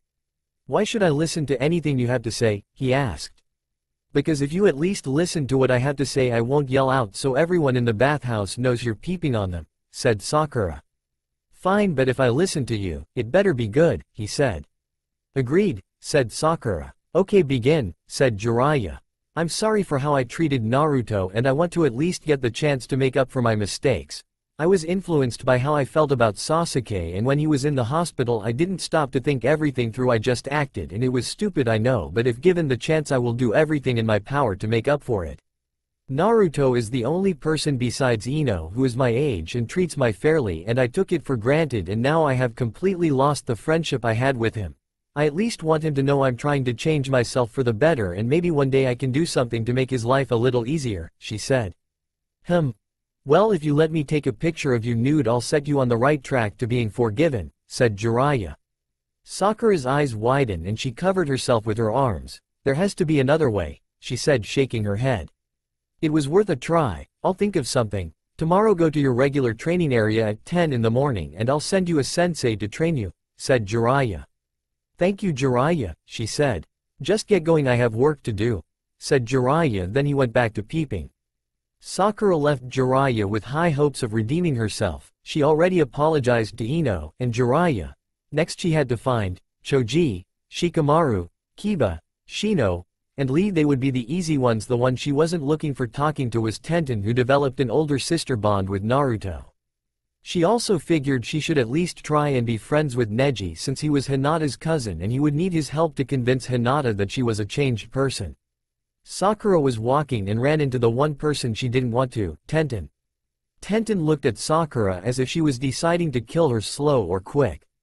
Sakura gulped and slowly put some space between the two. She knew if Tenten decided to fight her it would be nothing she could do to defend herself so she was preparing herself to run. Um Tenten before you decide to kill me at least hear me out. Sakura stuttered badly. Tenten did a Neji-like smirk and looked at her. Why should I after what you did to my brother, she asked. I know I was a bad friend and teammate but after having the chance to think about my actions I realized how terrible I was to him and I want to change, she said. So just like that you think you can up and change, asked Tenten. Well I know it won't be easy but I will try my hardest, said Sakura. So you want to make friends with me is that right, asked Tenten. Yes, Sakura said. And what of the damn traitor Uchiha, asked Tenten. He is not a traitor he was being controlled by that seal, said Sakura. Sakura until you forget about that Uchiha we will never be friends and you will always be my enemy as long as you try to protect him. So until the time you realize that the damn spoiled bastard truly is don't cross me or you might end up in the hospital, said Tenten. But, she was cut off. Change as much as you want but until you let go of this silly fangirl ways you have for him you will still be the same Sakura not only to me but to Hinata and Naruto and no matter how much you change if that's all we see is your crush on the Uchiha then it won't matter, said Tenten. She then walked away. Sakura sighed, I knew it would be hard, but I didn't think she would be this hard to become friends with, she said to herself. Sakura, she turned around and saw Guy, Lee and Neji standing there looking at her. Yes, she said, I know you're trying to change and it's hard after so long of believing one thing but you should really consider what Tenten said because Naruto holds her opinion on a higher level than any other genin he knows and if she doesn't like you then the chances of either Hinata or Naruto liking you is small. Of course you won't get over the Uchiha right away and Tenten knows that she is giving you a chance to make up for your comment you just made. And trust me when Tenten doesn't cut you for something you say then you are on a really short string and if you do the wrong thing eh? Chances of changing her mind is lost said Neji. I don't know Naruto as well as you but I know he is forgiving but if Hinata and Tenten don't forgive you then he probably won't, said Guy. Come on Sakura you should spend your time training to clear your head then come back to this subject when your mind is clear and make a decision, said Lee. Training with us will also let Tenten see how hard you're trying to change, said Neji. I would like to but I can't Jiraiya-sama already said he would get me a sensei to train me, she said. You won't be training with your new sensei all day, when you're finished with your sensei come find us for extra training you won't change unless you work harder than you did before, said Guy. Thank you I will come train with you after I'm done with my sensei tomorrow, she said. A kunai came flying past and smoothly slid across Sakura's jaw then Tenten walked up with another kunai and her hand pointed at Sakura. The next kunai won't miss now you only have one chance and one chance only to change my opinion about you so you better make it cunt or all hopes of becoming my brother's friend it lost do I make myself clear, said Tenten. Yes Tenten, said Sakura. Good don't be late for training tomorrow we start team training at 4 in the afternoon. She then walked away and disappeared in the trees headed towards the village. Told you she was hard to impress, said Neji. I think I better leave before she changes her mind, said Sakura. On her way home she found the guys at a restaurant and went to apologize to them which were easy because she agreed to pay for their food, which was a lot with how Choji ate. She was walking home and saw a Hyuga girl walking with a guard and went up to them. Hey you're Hinata's sister aren't you? asked Sakura. Why does it matter she no longer lives in the Hyuga compound, said Hanabi. I was wonder could I ask you something about her, said Sakura. Sure make it quick I'm busy, said Hanabi. Sakura wondered how busy an eight-year-old could be but shrugged it off. If someone was trying to make up to her for how they acted what would you recommend they do, asked Sakura. Well I'm guess this has something to do with that Naruto boy she has a crush on, Sakura nodded. Well I would suggest you talk to her and let her know how wrong you was. And get her some cinnamon buns they're her favorite and she doesn't hold grudges longer than 5 minutes, said Hanabi. Thank you, now all I have to do is write a letter for Hinata and send her some cinnamon buns to explain why I did what I did, Sakura said. No worries now I have to go, but will you send this letter to her with yours? asked Hanabi and she gave Sakura the letter then continued to look for Neji. Sakura ran to the nearest cinnamon bun store and asked for a simple recipe to make some cinnamon buns. She got home with her newly acquired recipe and started to make two dozen for Hinata. Sakura was standing in the middle of training ground 7. She didn't get much sleep because she spent most of the night thinking over how she treated Naruto. She had made a promise that she would change herself and this was the beginning of that change. She looked at her watch and saw it was already 10.05 and wondered where her sensei was. She hoped it wasn't going to be Kakashi because he was always late and she would get no training done. Sorry I'm late Sakura I was in a meeting with the Hokage, Kakashi said walking up to her. What you are my sensei, she asked. Yes, now enough talk we have a lot to cover now get stretched out. We are going to first put some weights on your limbs then work on your taijutsu. You're going to learn the strong fist taijutsu. Also you're going to learn Kage Bushin to make your training go twice as fast, Kakashi said.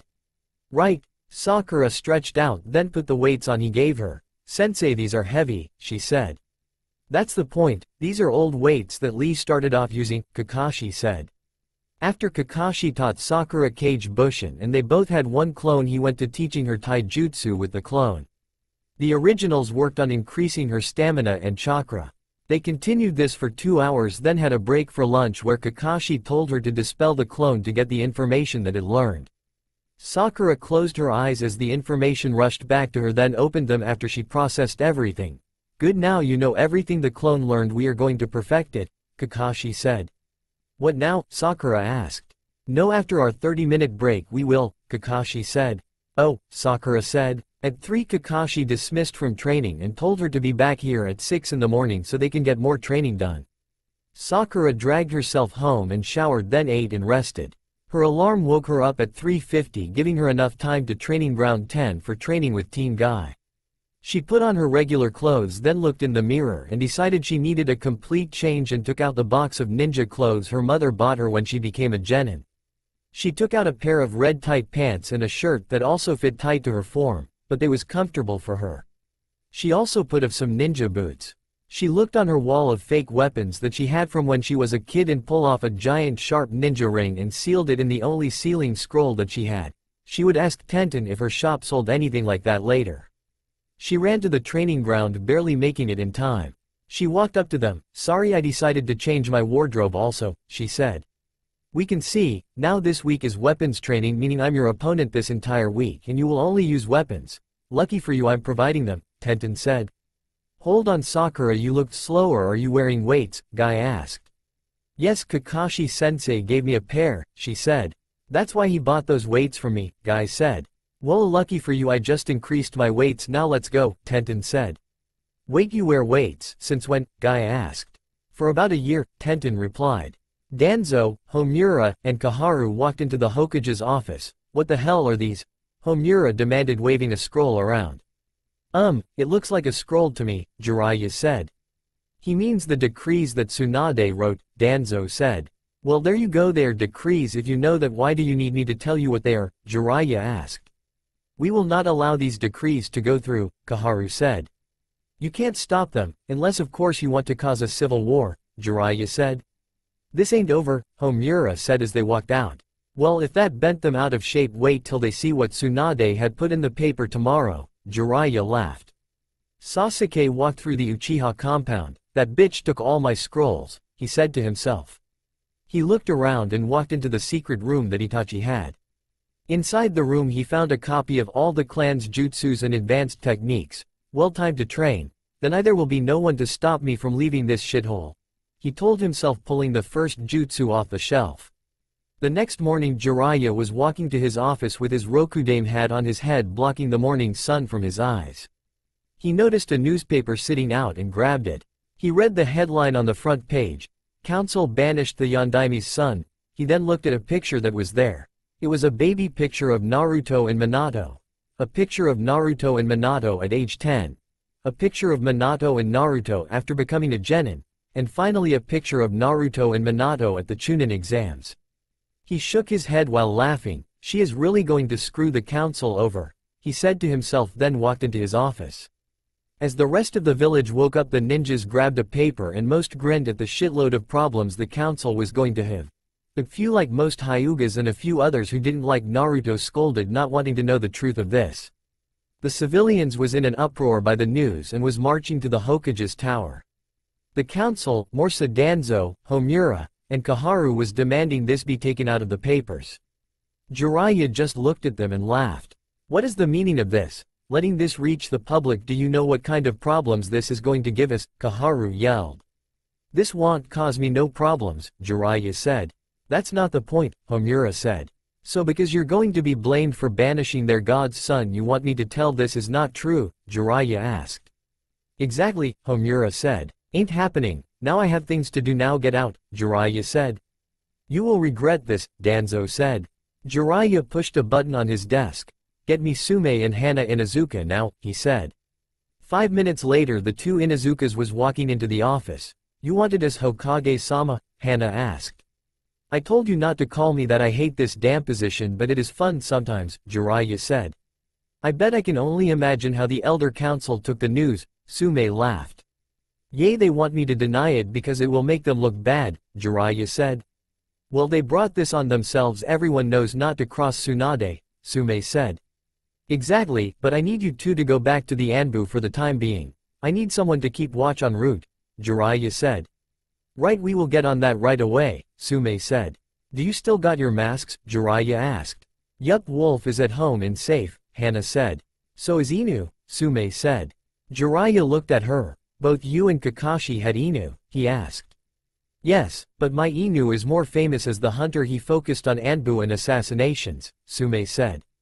Right well tell me if they are doing something suspicious, Jiraiya said. Hi, both vanished from sight. A month later Jiraiya walked up to Sakura as she was just finishing up training with Kakashi, Hello how is training going? he asked. Great, she has already learned everything she would have if she had a shinobi family to teach her, Kakashi said.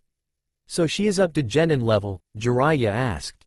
Yes, I was going to start increasing her training now, Kakashi said. Well that will have to wait, she still have her two months in Anbu prison to do, Jiraiya said. What Anbu prison? Sakura yelled. Don't worry, it's actually not as bad as it sounds. You will be given more freedom because you're only a genin level, while there you will be allowed to continue your training but you can only learn from scrolls and you will be under 24-hour watch, Jiraiya said. But prison, Sakura asked again.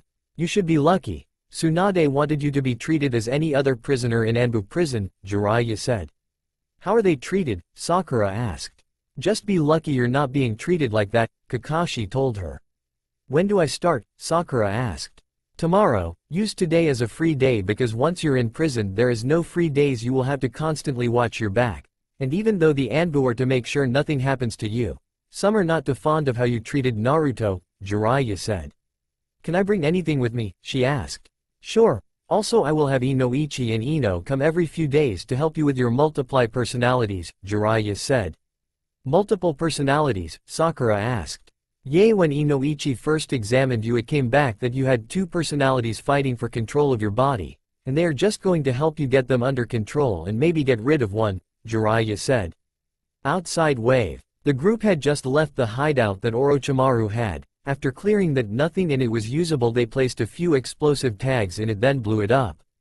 They next went to the village of Springs, located in Country Hot Springs. After entering they realized why it was called the village of springs as there was hot springs everywhere. The kunoichis of the group immediately went to a hot spring. Naruto just walked around the city looking at the different sites. He walked inside a jewelry store and nodded to the lady behind the counter who nodded back and went back to her magazine. After she finished she watched Naruto for a few minutes, can I help you find something, she asked eventually. Well at the moment I'm just looking, but if you don't mind can I ask you something, he replied. Not at all, after all I get paid to help customers or future customers, she replied. Well you see I'm training to be a ninja and I was kicked out of my home in Konoha and a bunch of friends came with me. But I'm the only guy in the group I want to buy something that shows them how thankful I am for them but I don't have a lot of money, he said. I see, what's your name, she asked.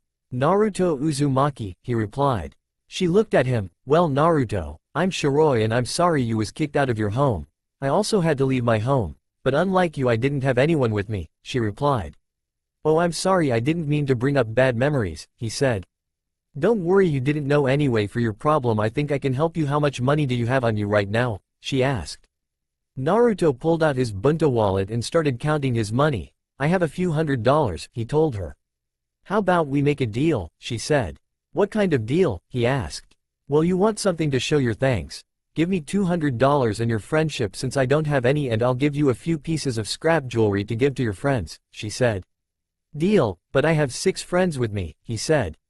That's fine, here are six necklaces that broke sometime between them getting made and being brought here. I'm sure being a ninja you can find a way to fix them, she said. Thanks Shiroi you're the best, he said. You're welcome Naruto, she replied. He then bolted out the door to try and fix them she smiled and shook her head. I can't believe Konoha kicked him out what else happened since I ran away, she thought. She then pulled out another magazine and started to look through it. Why do I have a feeling I'm going to have to reveal myself sooner than I wanted, she thought. Naruto ran and found an empty table and went to work on trying to fix the necklaces. He did the best he could seeing as he had no experience at this kind of stuff. After he was done he nodded and sealed them into a scroll and got up and walked around more. A few minutes of walking around he noticed someone was watching him, who's there, he yelled. Naruto you're coming with us, they said. Itachi and Sushi man I'm not going anywhere with you, Naruto said. What makes you think you have a choice, Kisame asked. You can't make me go where I don't want to, Naruto replied. Kisame just go get him, Itachi said bored. Kisame walked closer then swung his Samehada but it was blocked before it made it to Naruto. The person who blocked it then kicked Kisame in the stomach. Naruto leave them to me, a female's voice said. You will pay for that. Kisame then ran at her. Her eyes changed. Kisame stopped. Itachi uncharacteristically yelled out. Too late. The kunoichi said then Kisame fell to the ground. In the hot springs Q all of a sudden stood up, We have to go Itachi is here, she said. They got dressed and followed Q to where Naruto was to see a Kunoichi fighting Itachi. Itachi activated his Mangekyu Sharingan and looked at the Kunoichi. He then attacked without warning. The Kunoichi blocked his attack and attacked back. Itachi jumped back and saw the rest of Naruto's group come up. He grabbed Kisame and vanished. Naruto are you okay? Q asked as she stopped next to him. Yes she saved me, Naruto said pointing to the Kunoichi. Thank you whoever you are, Tsunade said. No thanks are needed, she said. Who are you? How did you know my name? Naruto asked. She turned around and looked at him. I was just talking to you 15 minutes ago, she said smiling at him. Shish Shiroi, he asked. Exactly now why would Itachi be after you, she asked. Because of Kyuubi, Naruto said. I heard of groups doing that but I didn't want to believe it, she said. Excuse me how do you have the Sharingan, they all should be dead, Hinata asked.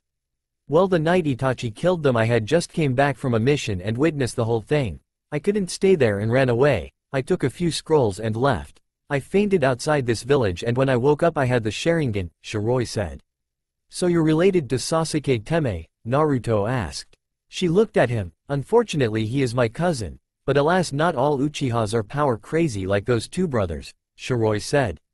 Well again thank you for saving Naruto we will be leaving now, we don't want to bring more trouble here, Tsunade said. If you don't mind I would like to travel with you, Shiroi said. Why? Tsunade asked. Shiroi shrugged, no reason. I just want more than just staying here also I need to repay Itachi for killing my mother, she wasn't even an Uchiha, Shiroi said. What can you give us and what do you get out of this? Tsunade asked. For one I can fight Itachi last time we spared we was even, for two I know all the Uchiha's jutsus, and finally all I want is someone to call a friend. Being half Uchiha meant I was shunned by all and never had any friends, Shiroi said. You can come with us, but you have to help with training, Tsunade said. Fine with me, I can teach ninjutsu since that's what I excel in, Shiroi said. How was you able to fight Itachi evenly, Yugao asked. Well that's easy since I have a fully developed Sharingan. His don't affect me as it would anyone else and only a Sharingan user can stop his genjutsus he cast, Shiroi said. In Konoha, in Konoha's Anbu prison Sakura was miserable, she didn't get to see Ino for another two days and she still had a month to be in there. She studied her scrolls and did chakra exercises but soon she would just sit on her bed and cry. She wanted to get out of there so bad she was willing to do anything to get out. Occasionally she would get visits from everyone else but they was too far apart for her to survive in there. As she was sitting on her bed her door opened. Hoping that it was someone to talk to she looked over at the door and was not surprised to see an Anbu step in. But unlike the normal tiger Anbu this one was a wolf. She walked in further and stepped aside for, to Sakura's surprise, let Tenten walk into the room. Sakura just stared, Tenten why are you here, she asked nervously. Tenten looked at her, I was told that you were getting more and more miserable being in here and that you was almost raped a few times although I think you should be punished for what you did, I don't think you should have to go through this and even if I don't like you I have to admit you are trying to change so I decided to give you a visit, she said. Sakura just looked at he, thank you, she said. Don't thank me, anyway how are you holding up, Tenten asked. Sakura tried to keep control but eventually burst out in tears. Oh Tenten I know I was bad to him but was I really this bad to him? This place is worse than anything you can ever imagine. The guys here all try to rape me and the women tries to beat me up. All because I'm, the new meat, as they put it, Sakura cried out. Tenten watched as tears poured down her face, she took a deep breath and walked over to her. Sakura don't pay them any mind. You only have a month left. She said while letting Sakura cry on her shoulder. But I can't last another entire month I almost died earlier, she cried out. I thought you're supposed to have Anbu watching you while you was here, Tenten asked. I do but Tiger always wait till the last minute to stop what they're doing. He even let one guy get all the way to ripping my clothes off before he stopped him. All because I'm trying to change myself, Sakura cried. What he let things get that far? Wolf asked who was quiet the entire time. Why yes, HHE said if I just agreed to be with Sasuke he would stop them before they can start, Sakura cried. Why didn't you agree? Wolf asked. Because he is the reason I am having all these problems. When Ino last came she told me that after checking my past with one of her family jutsus I would have been fine and a better kunoichi if I have never met him. I'm trying to be the best I can but he is holding me back, Sakura said. I see I'll try to get the Hokage to put you on house arrest with an Anbu watching you for the rest of your time, Tenten said. Tenten time is up, Wolf told her. Okay. Here's Sakura it's a scroll on that battle ring you asked me about. Read it and practice the movements best you can. When you get out I'll get you a practice one, Tenten said. Thank you. They both left Sakura to her lonesome again. Wolf shunshined them to the Hokage's office. How is she? Jiraiya asked. She is completely defeated, Wolf said. What do you think? he asked. If she spend her last month in there she will have a mental and physical breakdown and at best will kill herself, Wolf said. At worst, Jiraiya asked. She is raped then killed, Wolf said. What do you suggest, he asked. That you put her on house arrest for the next month to give her a chance to recover from what she has been through in the Anbu prison, Wolf.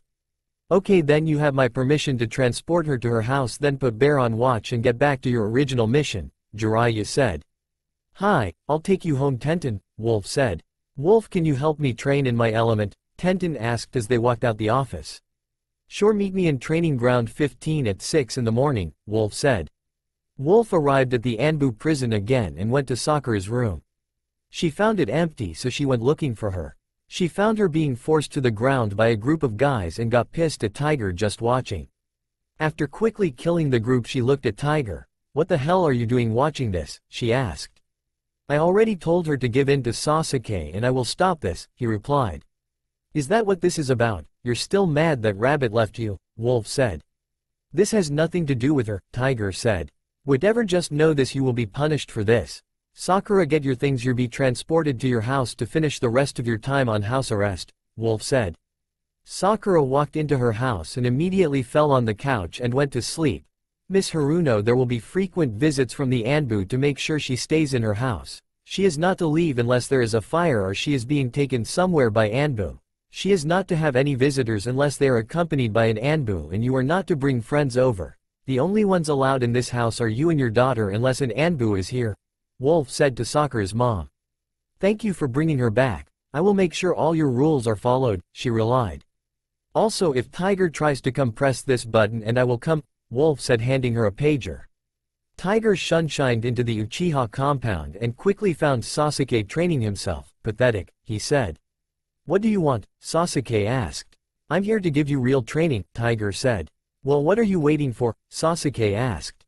Patience, I am still having your katana made, but put these on we are going to do some serious speed training, he said throwing him some weights. In the middle of nowhere. The group of ninja for hire who took the name of Jozu was setting up camp for the night. After they had their tents and had a fire built Shiroi turned to the group. Hey you don't mind if I start training them in speed do you, she asked. Go ahead I was going to do it but if you want then I can focus on weapon, Yugao said. Thanks, she turned to Naruto and Hinata. Here put these on, she gave them a set of weights. After they put them on, now I know usually ninjas always wear weights but you're only wearing them for a set amount of time. This is just to get your speed up to Chunin level, then we are going to do some serious speed training, the kind only known by Jiraiya, Shiroi said. How do you know training that Jiraiya did, Tsunade asked. Because Jiraiya once visited hot springs and noticed me. He took a few months to train me, during that time my speed increased dramatically and without using weights, she said. He must have put you through the training he put Minato through, Tsunade said. The next morning Shiroi woke Naruto and Hinata at the crack of dawn and since she had the last watch that was around 6 in the morning. The two tiredly rubbed their eyes while following Shiroi she led them to a small lake and threw them in it. Now since you two are fully awake time for training, and be quiet we don't want everyone else to be woken up do we, she said. You threw us into a lake, Naruto yelled. I said be quiet it's too early to be yelling not get on top of the water, she commanded. After they got out the water she started. Now make at least two clones. They both made a clone. She had to teach it to Hinata though, send them with my clones. They are going to work on ninjutsu while we work on speed. I know it's hard to see but trust me this will is the best time to train, she said. How does that work? Naruto asked. Well whatever your clone learns you learn when it's dispelled, Shiroi said. What I didn't know that, Naruto said. Well now you do. Let's go, Shiroi turned and started to run around the lake. She ran up the waterfall, to which neither Chunin could do. She then jumped off the waterfall. Don't worry I didn't expect you to be able to do that I couldn't do it either when Jiraiya trained me.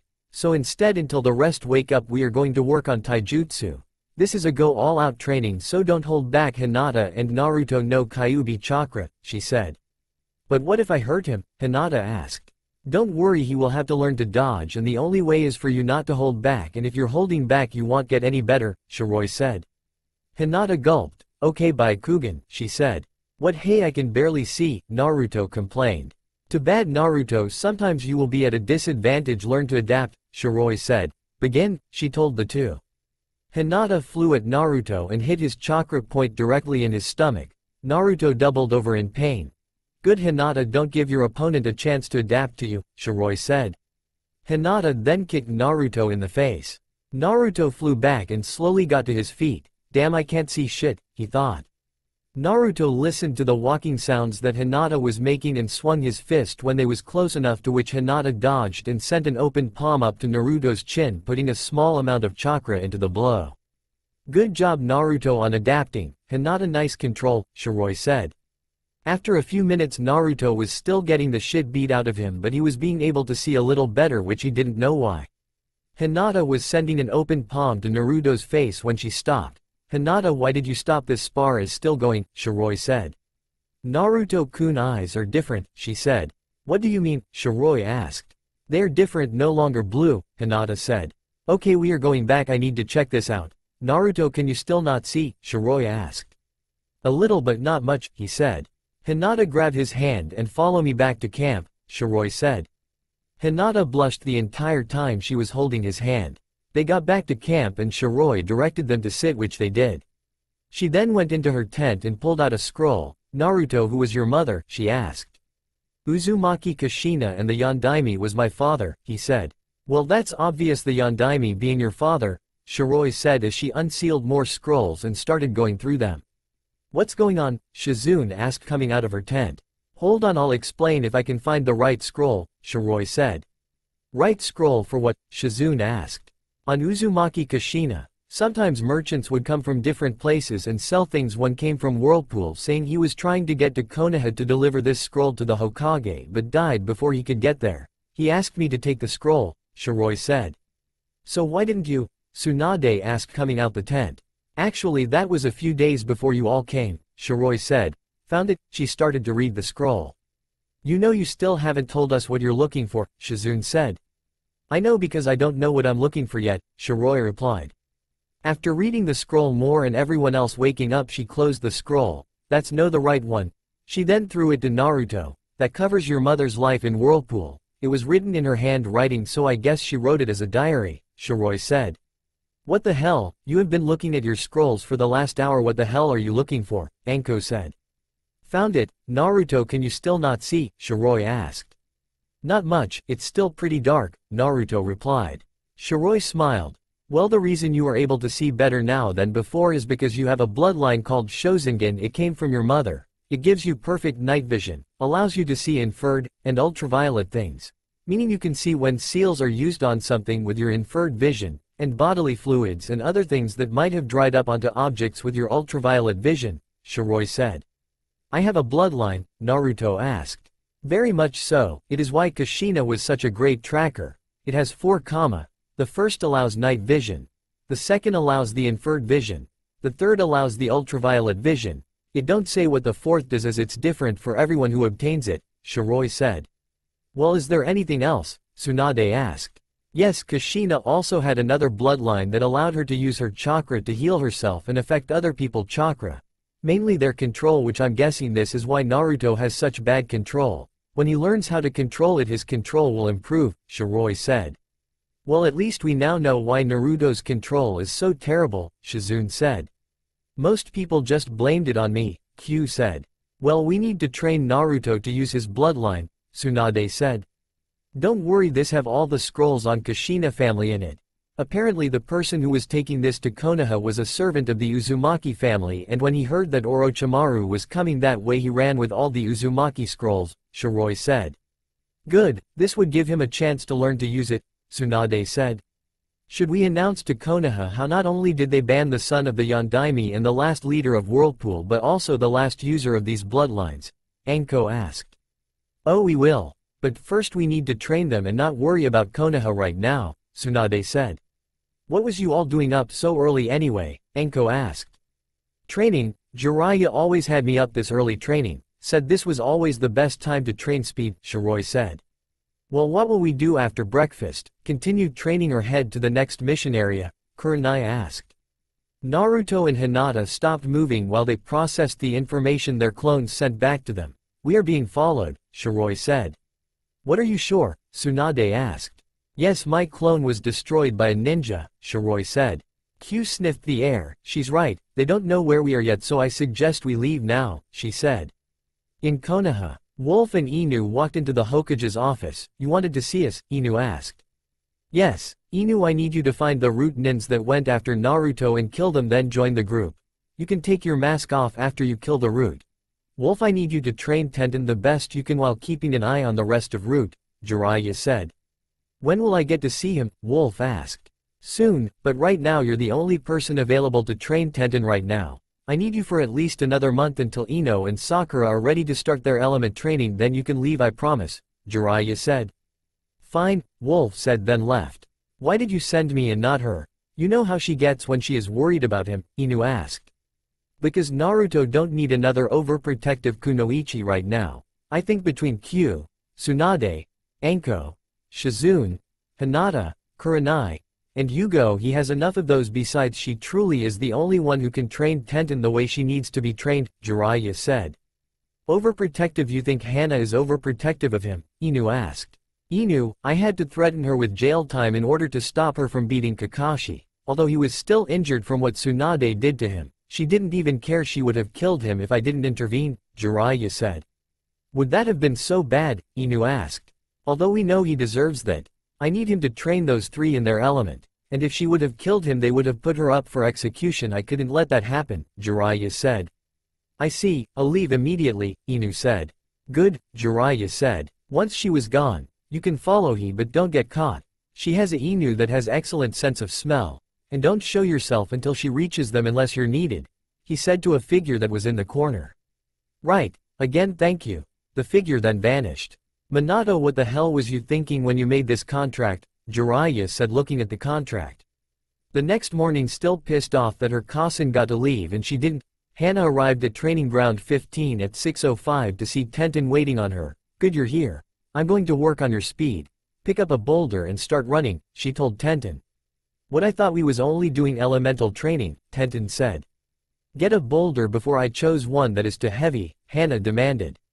Tenten quickly looked around and found a boulder that she was able to pick up but was still kind of heavy. Good now run around the entire training ground three times and if you even think about taking a break you will get an extra lap, she told Tenten. After Tenten struggled for an hour to get around the training ground she dropped the boulder, now defend yourself, and no weapons. Hana said then immediately went on the attack. Tenten fumbled over her feet as she tried to block a punch by Hana, To slow, you need to get faster, she said. She kicked at her feet, you're too clumsy, I have no reason to continue training you if you're not going to put your heart into it, Hana said. What I'm trying, I didn't even get a breath after I ran around with a boulder for an hour, Tenten replied. You're a kunoichi there is never a break especially when a client can just as easy pass you over for another shinobi. The legacy of all kunoichis is on your shoulder what will you do cave in or take it on? Hana said as she kept her attack on Tenten. Tenten was able to do a spin kick, but it was blocked. Stop thinking. Taijutsu isn't like jutsus or weapons. It is pure action. No thinking involved. Let your instincts take over, Hana said. Tenten threw a punch. Stop, Hana said. Tenten stopped and bent over barely able to breath. Not only are you more predictable than Naruto but you're still too slow, think too much, have no set taijutsu training, and unless you have a weapon in your hand are useless, she told Tenten. Tenten just looked at her teary-eyed. I told you the weight of the kunoichi reputation is on your shoulders why are you crying is it because I'm telling you the truth or because you know everything I say is true and you don't want to hear it, Hana asked. Tenten snapped, I am trying my hardest but all you have done since you got here is criticize me. I thought we was friends why have you changed so much, she yelled. How do you think Naruto felt when his own sensei was purposely holding him back? How do you think he felt when his own teammate put a jutsu taught by his sensei through his heart? He always tried his hardest but was always criticized and he was not only a hero for holding Kyuubi, But he is also the Yondaime's son so how do you think he feels knowing that his father gave his life to save this pathetic village yet they banish him? How do you think he will feel when he finds out that he is betrothed to two clan heirs a girl he thinks of as his best friend, and another woman from a different village? How do you think I felt when Jiraiya let my cousin go see and travel with him and not me? I have to wait even longer to see my own fiancé how do you think we feel? Hana yelled back at Tenten. Tenten looked shocked. You're betrothed to Naru-chan, she asked.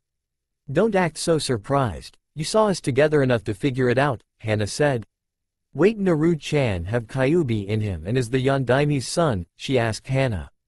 Oops did I say that, Hana said. Yes, Tenten said. Don't tell anyone. Especially people I don't trust or I will hurt you. This can't get into the wrong hands, Hana said. I want, who else is Naru-chan betrothed to, Tenten said. You, Hinata, and the other I don't know, Hana said. Tenten eyes went wide. I'm betrothed, she asked. Yes, your mother signed it before she died. Your father didn't know it was supposed to be a surprise, Hana said. How do you know, Tenten asked. I was there, I'm two years older than you remember, Hana said. Oh right, but why did you take your anger out on me, Tenten asked. Because for one you needed to know the harsh truth that although you're great with any weapon you're lacking in taijutsu. I knew I would hold back on you even if I was angry, and if I had saw anyone else while I was still so pissed I would have probably killed them, Hana said. Oh, Tenten said. Leave. Tomorrow you better have some scrolls on a taijutsu you want to learn. And take those weights off they will only hinder your training, Hana said. Okay. I won't have to carry that boulder again will I, Tenten asked. Oh you're carrying that every day that's why you're taking off the weights. I have a month to whip you into shape before I leave to be with my fiancé and I plan to do just that, Hana said. But what about elemental training, Tenten asked. Ino is learning that next month with Sakura you're going to join them in training, but right now she is studying to be a medic, so she will also be learning taijutsu and speed just not as advanced as you are, Hana told her. So how advanced is Ino going to be at the end of the month, Tenten asked. Well Yushi will be Chunin level in taijutsu and speed while around Junin in chakra, Hana said. What about me, Tenten asked. You are already Chunin level in everything but taijutsu so you will be around Junin everything so be prepared we will not have a day off. Also learn Shadow Clone, Hana said. Tenten just watched as Hana walked away. This month is going to be hell, she said to herself. Yuta, Ino asked walking up to her. Ino help me up, I can't feel my body, Tenten said. Ino you better not tell anyone what I said or I'll kill you. Tenten might have the protection of being my future sister but you don't because you're not betrothed to Naru-kun so don't make me do that. Hana yelled just before she disappeared. She knew I was listening but said all that anyway, Ino said. She is scary when she is like this, Tenten said. I feel sorry for you this month, I saw that training she put you through, and let's say I'm happy I decided to be a medic instead of a fighter, Ino said. Shut up and put your medic training to good use, Tenten said. I just started I don't even know where to begin, Ino said. Then help me to the hospital, Tenten said. Okay. I have to get there anyway, Ino said. Team Jozu jumped through the forest trying to get away from who was looking for them without being noticed. None of them in the group wanted to fight right now. As they moved at high speed Hinata was telling Naruto the process of using chakra in the eyes since it was different than using it anywhere else and more dangerous. They came to a clearing a few miles away and Q sniffed the air. We should be fine here, at least for now, she said. Naruto stood catching his breath with Hinata. So if I use too much chakra I can go blind, he asked. Yes so it's best you start with a little until you know how much you need, but every dojutsu requires a different amount of chakra, Hinata said. Naruto nodded and pulled out the scroll on his dojutsu.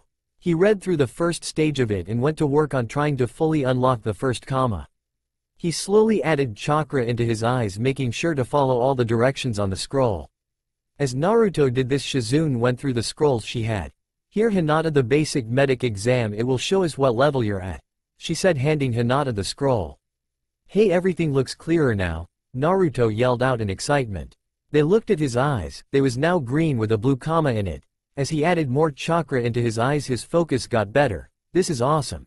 Everything looks so much clearer as if a piece of plastic was taken out from in front of my face, he said. You completely unlocked the first stage, Shiroi said. Congratulations but you need to work on the other part of your bloodline, Tsunade said. Naruto thought, Oh the chakra part, he asked. Exactly, Tsunade said. Naruto pulled out the scroll on the second part of his Shosingen bloodline. He read the top of the scroll, it says this part is called the cursed chakra, he said. Why is it called that? Hinata asked. Because when it first came about they didn't know what it was and thought their chakra was cursed. This scroll says that it came before the Dojutsu and was one of the first ever bloodlines, and came around the time the Byakugan was formed, Naruto read. So that makes it the second or third oldest bloodline, Tsunade said. Yup. The scroll also says that a lot of people get it confused with the old blood bloodline, but this is a far more advanced version. The old blood was created from this bloodline. It also says I can remove most seals that are forced on my body, Naruto read. So that means that Kabuto is a distant cousin yours. Man that sucks ass, Anko said. Naruto thought about it. I liked it better when I didn't know that, Naruto said. What else does the scroll say, Kurenai asked. It says that this part of the bloodline is the main bloodline and the easiest to train. Most Uzumakis have mastered it within a month of training, he said. That's good here. Now how do you train it? Tsunade asked. Well it has a training schedule, it starts with basic chakra training then works up to medic chakra training then goes into the something called ultimate control training which I finish the training I will have total control over my cursed chakra bloodline, Naruto said. Well I hope you don't mind but Hinata is going to join you on that training method, she could use the extra chakra training and hopefully this will help increase her reserve. Hours later. A few hours later Q sniffed the air. I smell blood, she said. How close, Anko asked. Very, Q said. Then an Inu jumped out into the clearing with a kunoichi on its back. She took off her mask. Sorry for the interruption but I'm now joining you, she said. Tsume why are you here, Naruto asked. Gaki I'm here because one, she pulled out two heads. These two was after you and Hinata they are root operatives. And two Jiraiya sent me to deal with them before they reached you and told me I can stay if I wanted to, Tsume said. Well welcome to the group, we was just starting lunch, Yugao said. Hey you're Shiroi Uchiha right? Tsume asked. Yes, she replied. What happened to you? When Hana heard about the Uchiha massacre she looked weeks through the bodies to find yours but never found it, Tsume said. Oh sorry, I ran away when I saw what Itachi did, she pat his name out. I ended up in Hot Spring Country. I stayed there I even got trained by Jiraiya, she said. I see well you should write her she will be glad to know you're still alive and safe, Tsume said. I will, Shiroi said. Now that we all know each other, Tsunade was cut off. Neko come out, Q yelled. Everyone looked confused. Who are you talking to Q? Naruto asked. Two more kunoichis stepped out, one with an amused look and the other with an annoyed look, Kitsune, she said. Q smiled, so this is your Jinchuriki Nibi, she asked. Everyone looked confused at the other kunoichi in confusion. I can ask you the same about the blonde shrimp over there, Nibi said. Hey I'm not a shrimp, Naruto yelled standing up. Q grabbed the back of his jacket and pulled him back, so what if he is, she said. Nibi smiled a smile that reminded everyone of a Neko. Well I must say he fits the role of Jinchuriki, she said. Q smiled her kitsune smile, so does yours. She looks like she thinks she can take on everyone here, she said. I can, she said. Yugito please, Nibi said. So what brings you and your Jinchuriki here, Q asked. Actually we are here for your Jinchuriki, Nibi answered. They all looked at her, oh why would you be here for him? If you want to try something I will be forced to stop you even if you're my best friend, Q said. No you got me all wrong. Besides I know I can't beat the lady of all demons. She said with a hint of laughter. Yay joke all you want Nibi. But seriously why are you here last I heard you was in Kumo, Q said. I was but there are factors that made Yugito turn her back on Kumo and come join you, Nibi said. Q looked at Yugito. Can you tell us why exactly you are here, she asked her. Well I'm sure you all know that he is betrothed, she said. What I'm betrothed to, Naruto yelled. Oh I forgot to tell him, Tsunade said. I see well you're at Tou-san and Kaa-san came to Kumo to work out a treaty between the two countries. But the only thing Kumo would offer was a marriage and me being a Jinchuriki they offered me. Your Kaa-san felt that they offering me without even asking was a disgrace. But your Tou-san offered you as my betrothed and your Kaa-san agreed because she liked me, Yugito said. But you're like seven years older than me, Naruto said. Like that matter you just agreed to marry me and Kurenai, Anko said. Anyway they told me I wouldn't be the only one you're betrothed to since you will be the last with your cousin's bloodline, Yugito said. Yay, Hana is also betrothed to him, so are Tenten, Temari, and Hinata, Tsume said. Hinata choked on her drink. Excuse me I'm betrothed to Naru-kun and Atusan still tried to have me marry Teme, she asked.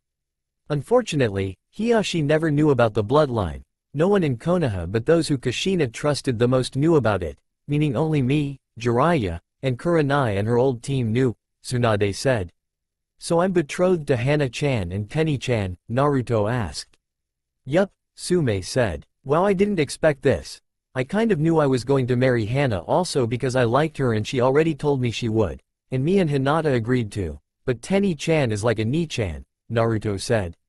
That's usually how it works, Tsunade said. This is all good to know but you two still have training to do, Q said. A month later, Naruto and Hinata had finished the chakra training and Naruto was able to control his cursed chakra and he mastered the first stage of his Shosengin. Shiroi also sent a message to Hana explaining to her everything that she'd been through. They was headed to Suna to tell Temari about the news of her being betrothed.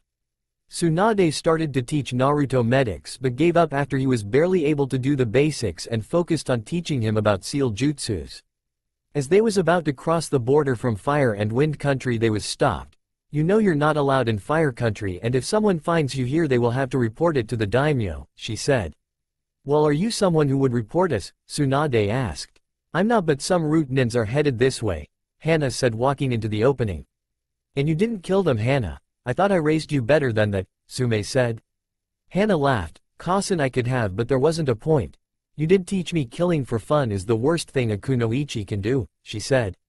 I guess I'll let it pass this time. Who is in charge of the clan? Tsume asked. I left the elders with limited power, Hana said. Sorry to interrupt but we are in a rush, Tsunade said. Right sorry, Hana said. She then walked up to Naruto. Hello Naru-kun did you miss me, she asked. You bet, hey guess what I have a bloodline, Naruto said hugging Hana. They started to run again and made it into wind country just as Root caught up to them. They continued to run through the desert until they was stopped again. Hello Naruto-kun and Hinata-chan how have you been since the exams, Kabuto asked. What do you want? Naruto asked. To see if something is true, Kabuto asked. Kabuto leave or we will kill you, Tsunade said. You see in order to do that you have to kill them first, Kabuto pointed behind them. They turned around to a small army of sound nins. Oh shit how did they get this close, Anko said. They came up while Kabuto distracted us, Hana said. How good it is to see an old teammate again, Orochimaru said. What do you want traitor, Tsunade said. Why I need a new body and he is perfect, Orochimaru said pointing to Naruto. Yugito, Hana, Anko, Yugao, and Kurenai walked forward. You want him you go through us, they said. Orochimaru laughed, how cute a protection party, if Konoha wasn't enough to stop me what makes you think you can, he asked. Come try us, Anko said. Orochimaru snapped his fingers and the sound army attacked. Hinata and Naruto who was standing next to each other was attacked by Kabuto, Let's see if you two got any better, he said. Hinata dropped into her modified Juken stance. Naruto dropped into his stance. Come find out, Naruto said. Orochimaru got behind Naruto and went through some hand signs. Juin Jutsu. Cursed sealing technique he yelled. What no, Anko yelled and ran at Orochimaru. Orochimaru bit Naruto on the back of the neck. You're too late, he laughed. I'll kill you. Anko laughed while jumping at him. Hinata grabbed Naruto before he fell to the ground and looked at him with her Byakugan. What she was was surprising for her, the cursed seal was trying to force its way past the barrier that Naruto's cursed chakra built around it. They both was struggling to get the upper hand. Kyuubi's chakra slowly made its way to where the seal was. Once it got there and combined with Naruto's cursed chakra he started to scream that got everyone looking at him. Hinata what's going on, Kurenai yelled. His chakra is not accepting the seal and is fighting it, Hinata said. It's pointless, Orochimaru said. No it's not, Naruto's chakra just combined with a small portion of Kyuubi's to fight it, Hinata said. The black chakra slowly was being pushed out of Naruto back through the bite marks Orochimaru left. Orochimaru and Kabuto looked shocked to this, how that's impossible, Orochimaru said. It is for any normal chakra, but him his chakra is not normal, he has the Shosingen bloodline, Hinata said. What why is that so important it's a dojutsu right, Kabuto asked. No have you ever wondered where your bloodline came from, Tsunade asked. What do you mean, Kabuto asked. Your bloodline is a version of Naruto's bloodline, a watered-down version, it was formed the same way the Sharingan was formed from the Byakugan, but unlike the Sharingan your bloodline have no new features it's just the most basic form of the cursed chakra bloodline which is part of the Shosingen. With it Naruto can expel almost any seal as long as he has the chakra to do it and with Kyuubi's chakra he has more than enough to get rid of that seal Orochimaru put on him, Tsunade said.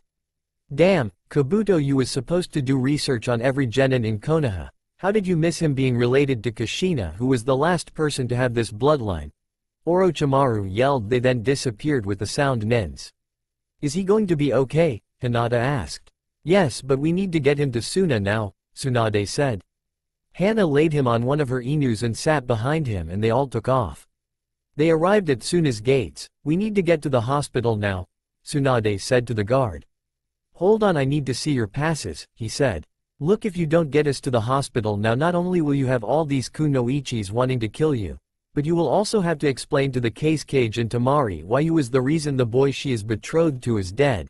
Yugao said stepping up. The guard gulped, right this way, he said.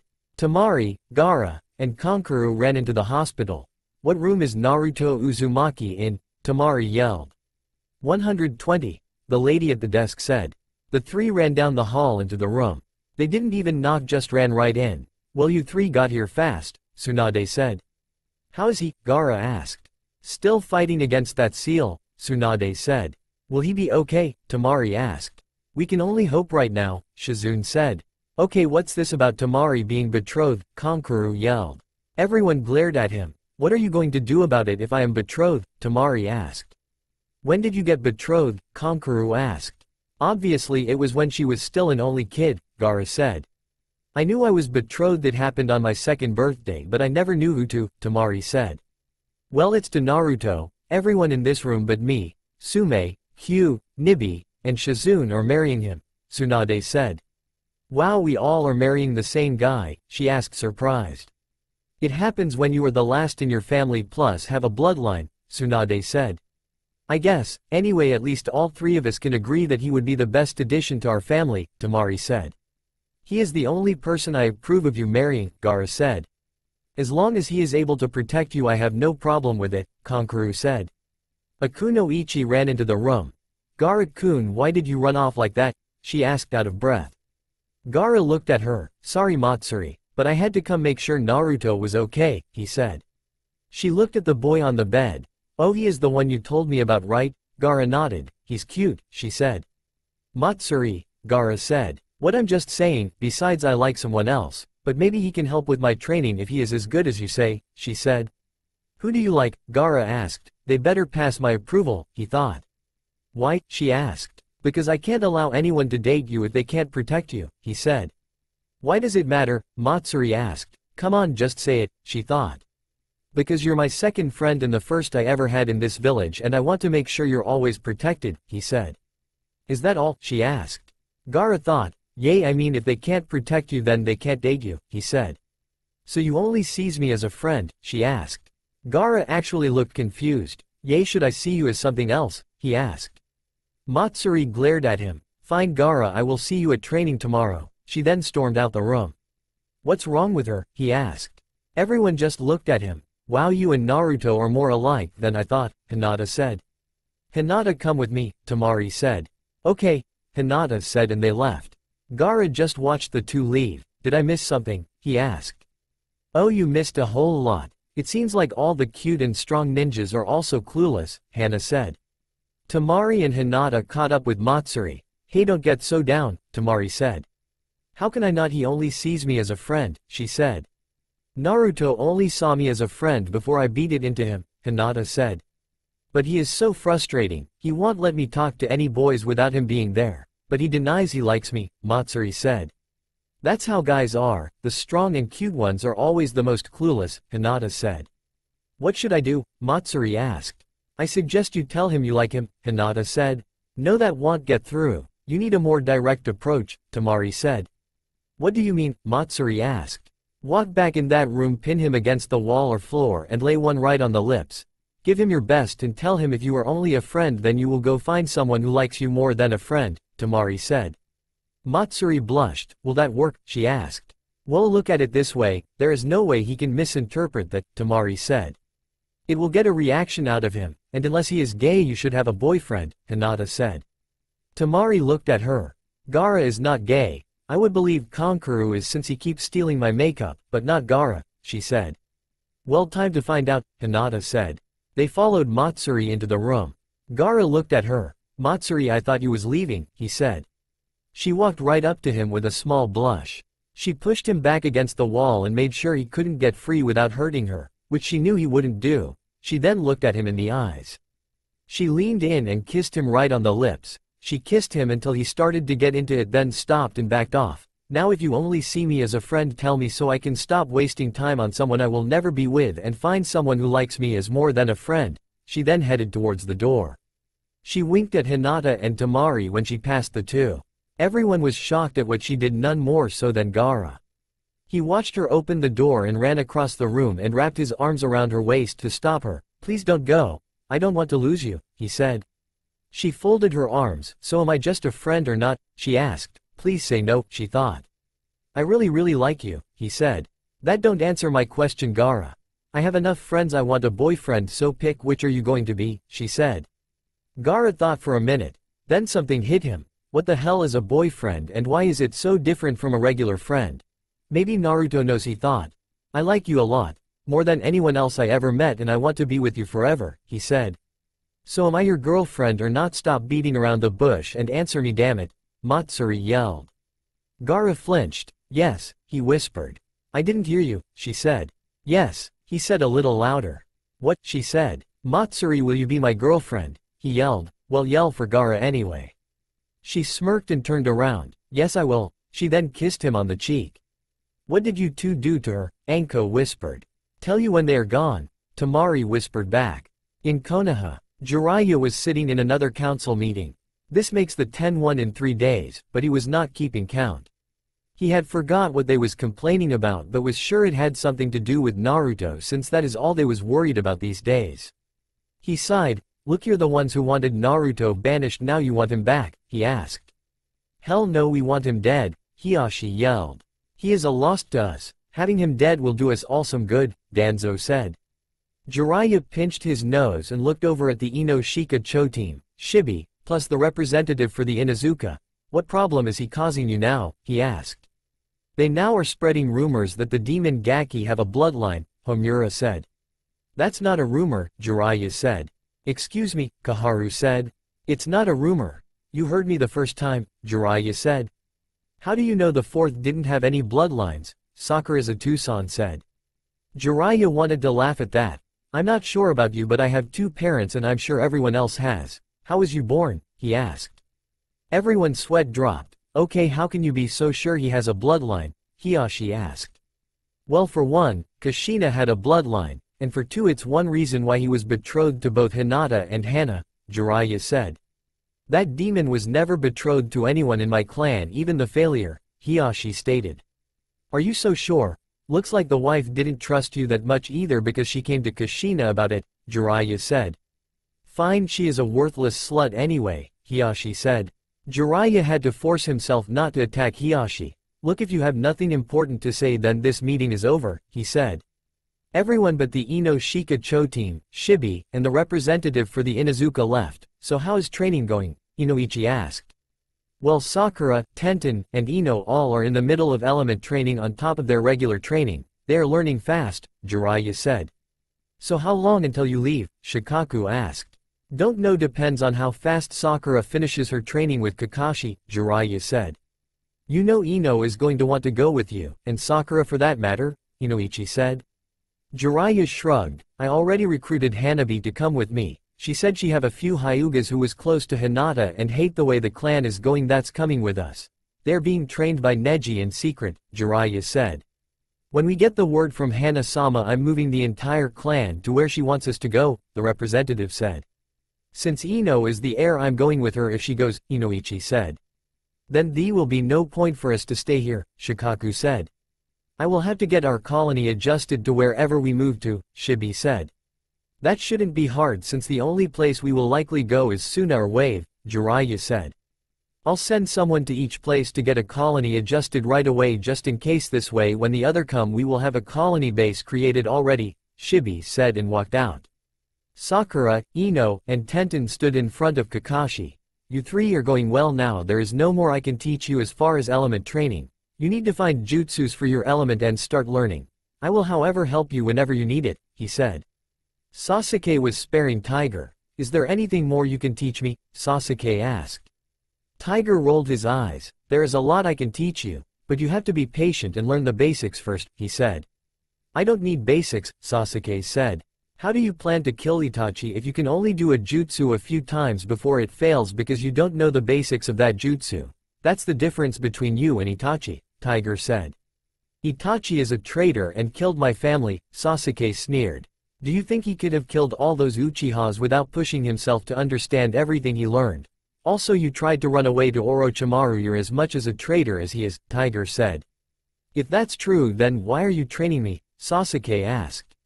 Because I want you to kill Naruto, and Itachi, Tiger said. Why, Sasuke asked. Itachi because he ruined my life when we was younger.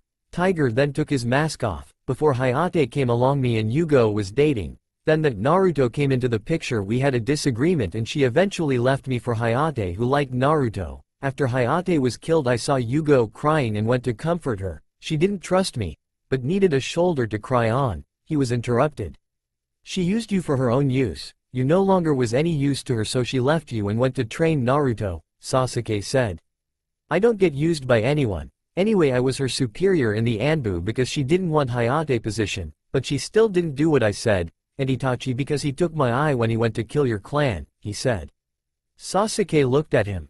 You're Shisui Uchiha ain't you? he asked. Yes, I was at one point the greatest Uchiha until I was betrayed by Itachi now you're going to kill him and get revenge for both us and restore honor to the Uchiha clan as once again the most powerful, Shisui said. Why would I want revenge for you? Sasuke asked. Think about it what better motivator than to kill the two people who took everything from us, Naruto and Itachi? Shisui asked. But how are you going to make me strong enough to kill Itachi when you couldn't beat him? Sasuke asked. Because I know a way for you to get the Mangekyo Sharingan, he said. How? Sasuke asked. Oh I'll tell you after your training is over. Me and Itachi unlocked it at the same time. Now I'm going to pass my title as Shunshin no Shisui down to you and make you Shunshin no Sasuke, he said. In the middle of nowhere. Itachi and Kisame was walking with no direction in mind, Itachi why do you keep running, Kisame finally asked. I'm not running I'm trying to correct my mistakes, Itachi said. What mistakes, Kisame asked. Itachi just ignored him. When he finally spoke it wasn't what Kisame was expecting, we are going to Suna, he said. What why, Kisame asked. Because I need to talk to my cousin, he said. What I thought you killed everyone except your brother, Kisame said. That's what everyone thinks, Itachi said. In Suna, Shiroi training with Anko. The two was worried about Naruto who has yet to wake up, but decided to do something productive instead of waiting in the hospital. Tsunade had Hinata check his chakra twice a day then sent her out to train and do other things besides sit in the hospital room. Nibi and Q decided to go look in the area between Sound and Konoha to see if there was anything they could find that would be useful. Everyone else trained or walked around Suna. Itachi and Kisame stood on top of the wall surrounding Suna. Why are we here again? Kisame asked. To clear somethings with my cousin, Itachi said. How long is this going to take, Kisame asked. Not long she is in the hospital stay here, Itachi said then vanished. Everyone minus Nibi and Q was in the hospital room that included Temari, Kankuro, Gaara, and Matsuri. They was all either sitting or standing while talking when Itachi appeared in the middle of them. Itachi what are you doing here? Shiroi spat out. He held his hands up where everyone could see them. I'm not here to fight but to settle somethings, he said. Like what, she asked. About what happened that lead me to killing the clan, he told her. Okay I'm listening, she said. Flashback. Itachi was arriving home from his shift on the Anbu. He walked through the compound and saw someone sneaking around. He quickly went to follow them. He followed the person until they came to the council chamber. What is Shisui doing in the council chamber, he thought. Shisui how is everything going? asked one of the council members. Great within a few days we will be able to go through with our coup, Shisui said. Good and Itachi, he asked. Not a problem he may be a genius, but he still is a level below me, Shisui said. What the hell a coup, why would they want a coup, and if he thinks he can beat me he is largely mistaken, Itachi thought.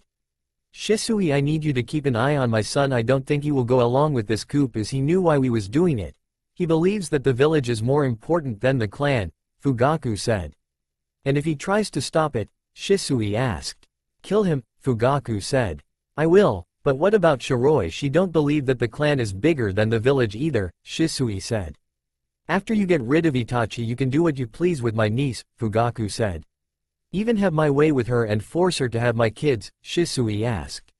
I don't care, Fugaku said. I can't believe a Tou-san will allow something like that, Itachi thought. The meeting ended and Itachi quickly made his way home and looked at his calendar. Okay Shiroi's birthday is on Friday she should still be on her mission so I'll leave her a copy of the jutsus I have. She is going to need it, he said quietly. He then looked at the clock. I need to see the Hokage tomorrow, he thought. The next day, Itachi was in the Hokage's office. Are you sure about this Itachi? The third asked. Yes I heard everything, they plan on doing it Friday, Itachi said. Okay we need to stop them without letting this get out, the third said. I can do it, but you have to promise to keep my Otouto and Shiroi safe, Itachi said. Okay but you know I will have to put you in the bingo book, the third said. So, Itachi said then walked out. Friday morning, Itachi woke up and went to the Hokage's office. When do Shiroi get back from her mission? he asked. She should be back by midnight, the third said. Good, when you see her tell her everything that happened, Itachi said then vanished. With Shisui later that day. Shisui was walking through the compound and saw Itachi sitting next to the river and went to join him. Itachi how is everything, he asked. Itachi stood and looked at him. Shisui if you had to do something that you think was the right thing would you, he asked. Of course, Shisui said. So if a group of shinobis was planning a coup and you knew about it would you kill them to stop it, Itachi asked. Shisui though about it, yes I would if I could. No one likes backstabbers especially when they are your friends, he said. I see, Itachi then took a step back. Shisui prepare yourself I'm going to stop this coup you and the clan is planning, he said. Shisui was surprised by this and didn't react in time to Itachi's attack and his eye was cut out by his katana. Your days end here Shisui, Itachi said then sliced across Shisui's face and kicked him into the river. He walked through the compound and started to kill everyone he knew was in the coop. The last person he killed was his Otou-san and walked out the room and saw to his surprise and horror Shiroi had just walked into the house with her present from Itachi. She looked at him with surprise and fear then turned and ran. Itachi just stared, damn it, he yelled. Mikoto woke up, Itachi what did you do, she asked. Sorry Kaa-san but everyone I killed was going to do a coup and I couldn't allow that, he went over to her, I'm sorry but I had to, he said. She nodded, I understand I would have done it also if I was in your shoes, she then hugged him. I know you're going to have to leave the village. But know that I always will love you and I will do everything to protect what's left of the clan, she said. Itachi kissed her on the forehead. I'll visit our old playground the 20th day of every month. He then walked out. Shisui was able to get out of the river. Itachi you will pay. He yelled and slowly walked through the village. He saw everyone from the coop was dead. Okay you want to play I will corrupt your most precious person and turn him into my weapon. He then turned into a Itachi look-alike. He killed everyone and walked into Itachi's cousin's room. Itachi ran back when he felt the chakra for the jutsu be used. No leave her alone. He yelled and jumped at Shisui. Too late, Shisui said and drove his katana into her heart. Sasuke was standing in the door, Itachi, he said. The real Itachi looked at Shisui with hate. You will pay with your life and everything you love. I will make sure that you never see happiness before I slowly kill you. He then turned and left. Flashback ends. Shiroi looked at him. I remember that. The pain I felt then was greater than anything I ever felt, she said. I'm sorry you had to see it. I tried to be gone before you came back, but fate wasn't on my side, Itachi said. Why was they doing a coup? Shiroi asked. Otou-san didn't like the way the third ran the village, Itachi said. What will you do now? she asked. I don't know yet, he said. Well you're no longer my enemy but I still don't trust you. But Shisui he now became my target and I will make sure he dies painfully, Shiroi said. I was hoping you would help me with that, Itachi said. What do you mean, Shiroi asked. You have a mature Sharingan right, Itachi asked. Yes, she replied. Well I can give you the Mangekyo Sharingan, he said. How, I'm not killing you to get it, Shiroi said. No it's through training, it's the same way me and Shisui got it, Itachi said. Let me think about it, she said. Okay, he then walked out the room. What do you all think, she asked. I remember something about that. Shisui was supposed to have committed suicide, Anko said. I wouldn't put killing the rest of your clan past Shisui he was always the jealous type, first Naruto, then Hayate, then Itachi when he was accepted into the Anbu, Yugao said. I think you should do the training, Kurenai said. Hinata did you detect any lie with your Byakugan? Shiroi asked her noticing she still had her Byakugan active.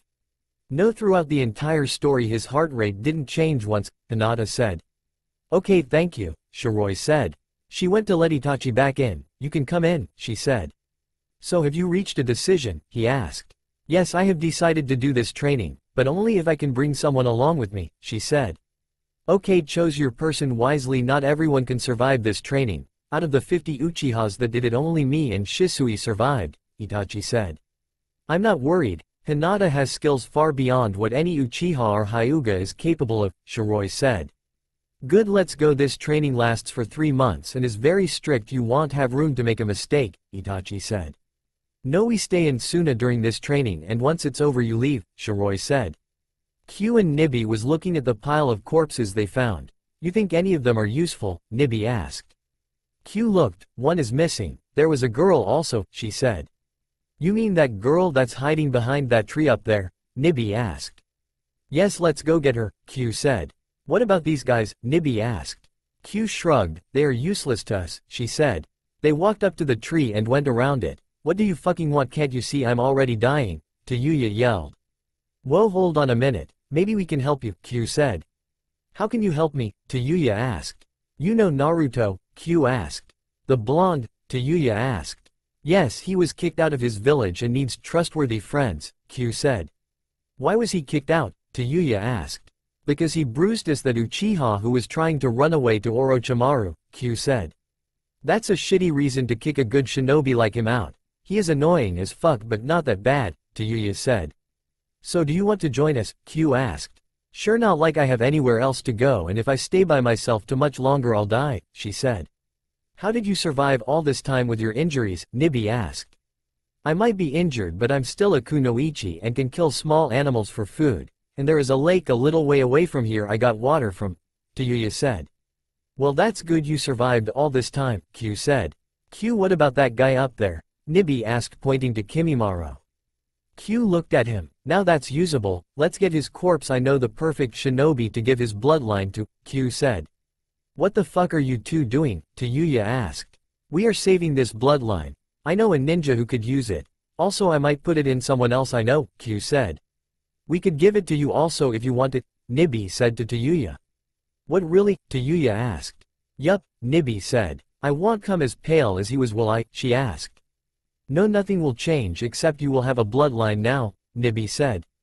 When can you do it? Tayuya asked. Q thought about, let's go to Konoha Hospital and do it. We can put a genjutsu up on her so no one knows who she is, she said. Good idea and she won't last all the way to Suna, Nibi said. In Konoha, Q and Nibi was able to get into the village with Tayuya under a genjutsu without much trouble. They had the dead body sealed inside a scroll. Tayuya was taken into a hospital room where the medics healed her while Q and Nibi went to the Hokage's office. They walked in and was surprised to see Tenten, Ino, and Sakura there, but Nibi had to grab Q when she saw Kakashi. The ki she was given off made the other take notice and they turned around. Who are you two? Jiraiya asked. Kakashi's eyes widened. You what are you doing here? He yelled pointing at Kyuubi. Shut it pervert, Q said. Listen here you, if you have a problem with me then tell me, Kakashi said. Nibi and Q had the decency to look shocked that he was challenging her. Nibi shook her head and let Q go. Wow you're either very strong or very stupid. She said backing up. You three might want to get out the way. She said to Ino, Tenten, and Sakura. They moved to the other side of the room. Hatake you have five seconds to get out of my sight, Q said. You don't scare me, Kakashi said. 1. Q started. Kakashi looked at her. 2. Q said. Are you serious, Kakashi said. 3. Q said. He is really going to take her on, Nibi asked. 4. Q said. What's going on, Sakura asked. 5. Q said. Well he was given the chance, Nibi said. Q vanished and Kakashi hit the wall behind Jiraiya, with enough strength to break a rib or two, all in the blink of an eye. Jiraiya, Sakura, Ino, and Tenten was surprised by her speed. She walked slowly to Kakashi and picked him up by his hair and threw him back over the desk and vanished again and kicked him in the chest, breaking three more ribs. She then drew a katana that looked like a tail out from nowhere and swung it at Kakashi. Nibi vanished and blocked Q's katana with her own. Leave Hatake or she will kill you I can't hold her off for long, she said. Kakashi slowly got up and shunshined out the room, why did you stop me Nibi? If I wasn't so used to your sudden interference to stop me I wouldn't have been able to stop my weapon, Q said. Nibi stood up holding her left arm. That is what you call stopping your weapon. Damn I think my arm is broken and I'm a demon so that would have literally crushed every bone in his body, she said. That's what I was trying to do, Q said. I realize that, but we have a reason for being here, Nibi said after she healed her arm. Right let's get this over before I run into him again and kill him, Q said. Next time I won't try and stop you, Nibi said flexing her arm.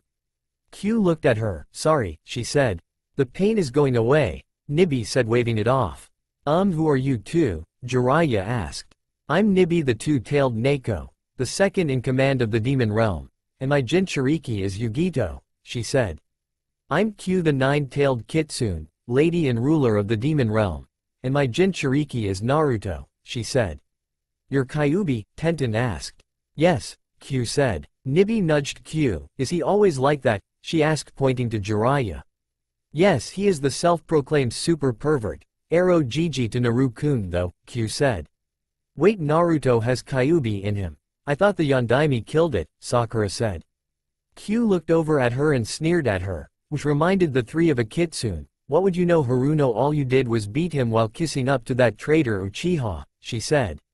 Q calm down, she is not even worth the effort, Nibi said looked at her and assessing her chakra level. You say that now, but you wasn't the one who constantly had to heal Naruto because of her, Q said pointing directly at Sakura. Hey I know I made a mistake in my past but I'm trying to change, Sakura said. Q sneered again, I want and will never take your word for anything. Anything you have to say or do will be like a tadpole in my eyes, Q said. Nibi shook her head, what did you do usually Q is so forgiving, she said. I wasn't the best person in the past, Sakura said. Okay what can I do for you? Jiraiya asked after he finished staring at Q and Nibi's assets. You finally finished staring pervert, we need to borrow Rock Lee, Q said. Why? Jiraiya asked confused. She unsealed Kimimaro, he is dead, but we can still make use of him by passing his bloodline on and I want to use Lee since he can't use chakra this will strengthen his chakra system enough to get to the level it should be at, Q said. Hey can I have it too? His bloodline will work great with my weapon training and my kids will have more than my good looks, Tenten said. You won't stop rubbing being betrothed to Naruto in my face will you, Ino asked. Nope because you want to, but have to want to ask haha, Tenten said. Q sweat dropped at the two, short Tenten, she said. Hey Q, Tenten said. What, Q answered. I think you should give Sakura another chance, she been through a lot since Naruto left, and not only from me and Ino but from Hana and Jiraiya also, she said. That's not enough reason to forgive how she treated Naruto, Q said. Maybe but it's a start in the right direction, Tenten said. Q thought about it, come on Q this is what made you so great, you're always willing to give, even the worst demons. Another chance what will it hurt to give this girl another chance, Nibi said. Q looked at Sakura for a minute, fine one chance don't blow it, she said. Sakura's face lit up, thank you so much, but why do you hate Kakashi-sensei so much, she said. Yate Q what could he have done, Nibi asked. His sensei was the Yondaime, he was like an Otou-san to Kakashi and taught him to treat all equally yet he treats Naruto as if he doesn't even exist, Q said. Ain't the Yondaime Naruto's a Tou-san at least that's what the paper said, Sakura asked. Yes, Tenten said. Hey what kind of katanas was those, Jiraiya asked. Those wasn't katanas, but our tails materialized, Q said. You mean that even though she blocked your tail with her own it still broke her arm, Jiraiya asked. It would have done more than that had I not adjusted the strength at the last minute, Q said. The four looked wide-eyed, she is not the lady of the demons for nothing. Besides I might be in second in command but I'm only the second strongest of all the demons I'm only second in command because she chose me to be, Nibi said. Ino here is a elemental katana I got it for Naru-kun. But I decided to give him one of my tails as a katana so you want need it you can have it, Q said tossing her the weapon. Thanks I needed a weapon, Ino said. In Suna three weeks later. Q, Nibi, and Tayuya was just reaching Suna after their trip to Konoha to transfer Kimimaro's bloodline into Tenten, Lee, and Tayuya. They walked through the village looking for the rest of the group. Q, they heard from behind them. They turned around and saw Naruto running up to them. Hey Naru-kun. You know Tayuya? Me and Nibi saved her and she is joining us, Q said. Oh, Naruto said looking at her. What the fuck are you looking at, Tayuya asked. Sorry, Naruto said sarcastically. Come on you two, where's everyone else, Nibi asked. Well they're around this village somewhere, but Shiroi and Hinata are with Itachi to train, Naruto said. Why, Q asked. Naruto told them the story that he was told from Temari. Well hope they succeed, Nibi said. Yay and I was able to remove that seal Orochimaru put on me. It was painful as hell, Naruto said. What you had the curse seal and got it removed how? Tayuya asked. It was because I have a bloodline called Shosingen and part of it is the cursed chakra I was able to use it to remove the seal, Naruto said. Damn you're lucky, I wish I could remove it, Tayuya said. Don't worry Tayuya I sealed it off so it shouldn't bother you, Q said. Yay I know now I'm going to fucking train, Tayuya said. Can I join you, Naruto asked. Fine but so you know I'm trying to get a handle on my Kekkei Genkai, Tayuya said. I didn't know you had a bloodline, Naruto said. I didn't Q and Nibi gave me, Tenten, and Lee Kimimaro bloodline, Tayuya said. Awesome I wish I could get that, Naruto said. Sorry Naru-kun. But adding it to your bloodline would be pointless because your cursed blood would make it useless. But I could put it into you so you could pass it on to your kids if you want, Q said. Two months and a week later. Q and Nibi gave the Shikotsumyaku to Temari, Matsuri, and a few other Suna shinobis, she also provided them all with a scroll which Nibi created using the information from Kimimaro's knowledge. Tayuya, Temari, and Matsuri was able learn to use the bloodline almost completely thanks to the scrolls. Naruto unlocked the second and third kamas from his dojutsu granting him infrared and ultraviolet vision.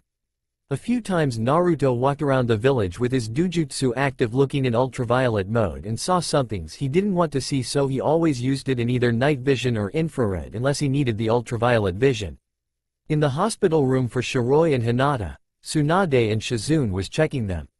Once they was done they both sighed.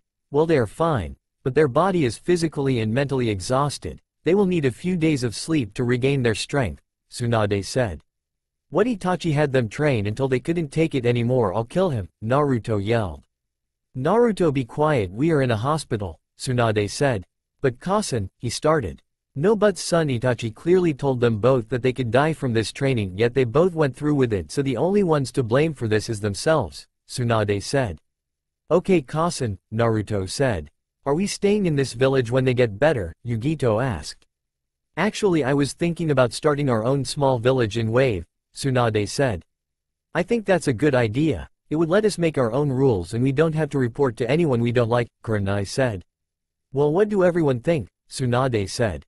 Fine with me, I like Wave and I get to see Inari again, Naruto said. I want to go Suna is so boring, Matsuri said. Count us in, Temari said for her two brothers. It's not like the rest of us have a fucking choice, Tayuya said. I agree with her, Anko said. A month later, Ayame was sitting in the living room of her small two-bedroom apartment. In front of her sat a box that she kept her secrets in. She opened the box and pulled out an all-white kunoichi outfit. She put it on, she stood and looked at herself in the mirror. She was wearing white pants that stopped just below her knees, a white shirt that was tied to her body, a hite that was on a white cloth, over all this she had on a white trench coat. Around her waist she had a black sash with a katana on her lower back with the sash holding it up. She nodded to herself, let's see if I can still do this, she said to herself and went through some hand signs and vanished in a swirl of leaves. She appeared outside her apartment and made sure there was no Anbu around then ran off into the forest. She reached a clearing in the forest and stood there. Damn it's been so long since I did this shit, she said. Almost nine years if I remember correct, she heard. Yes it has been that long since we were a team hasn't it hasn't it Itachi, she said. Yes it has sorry I haven't came to visit, he said. Stop talking either help me train or leave me alone right now, Ayame said. That's all for now if you enjoy then please like share and do comments.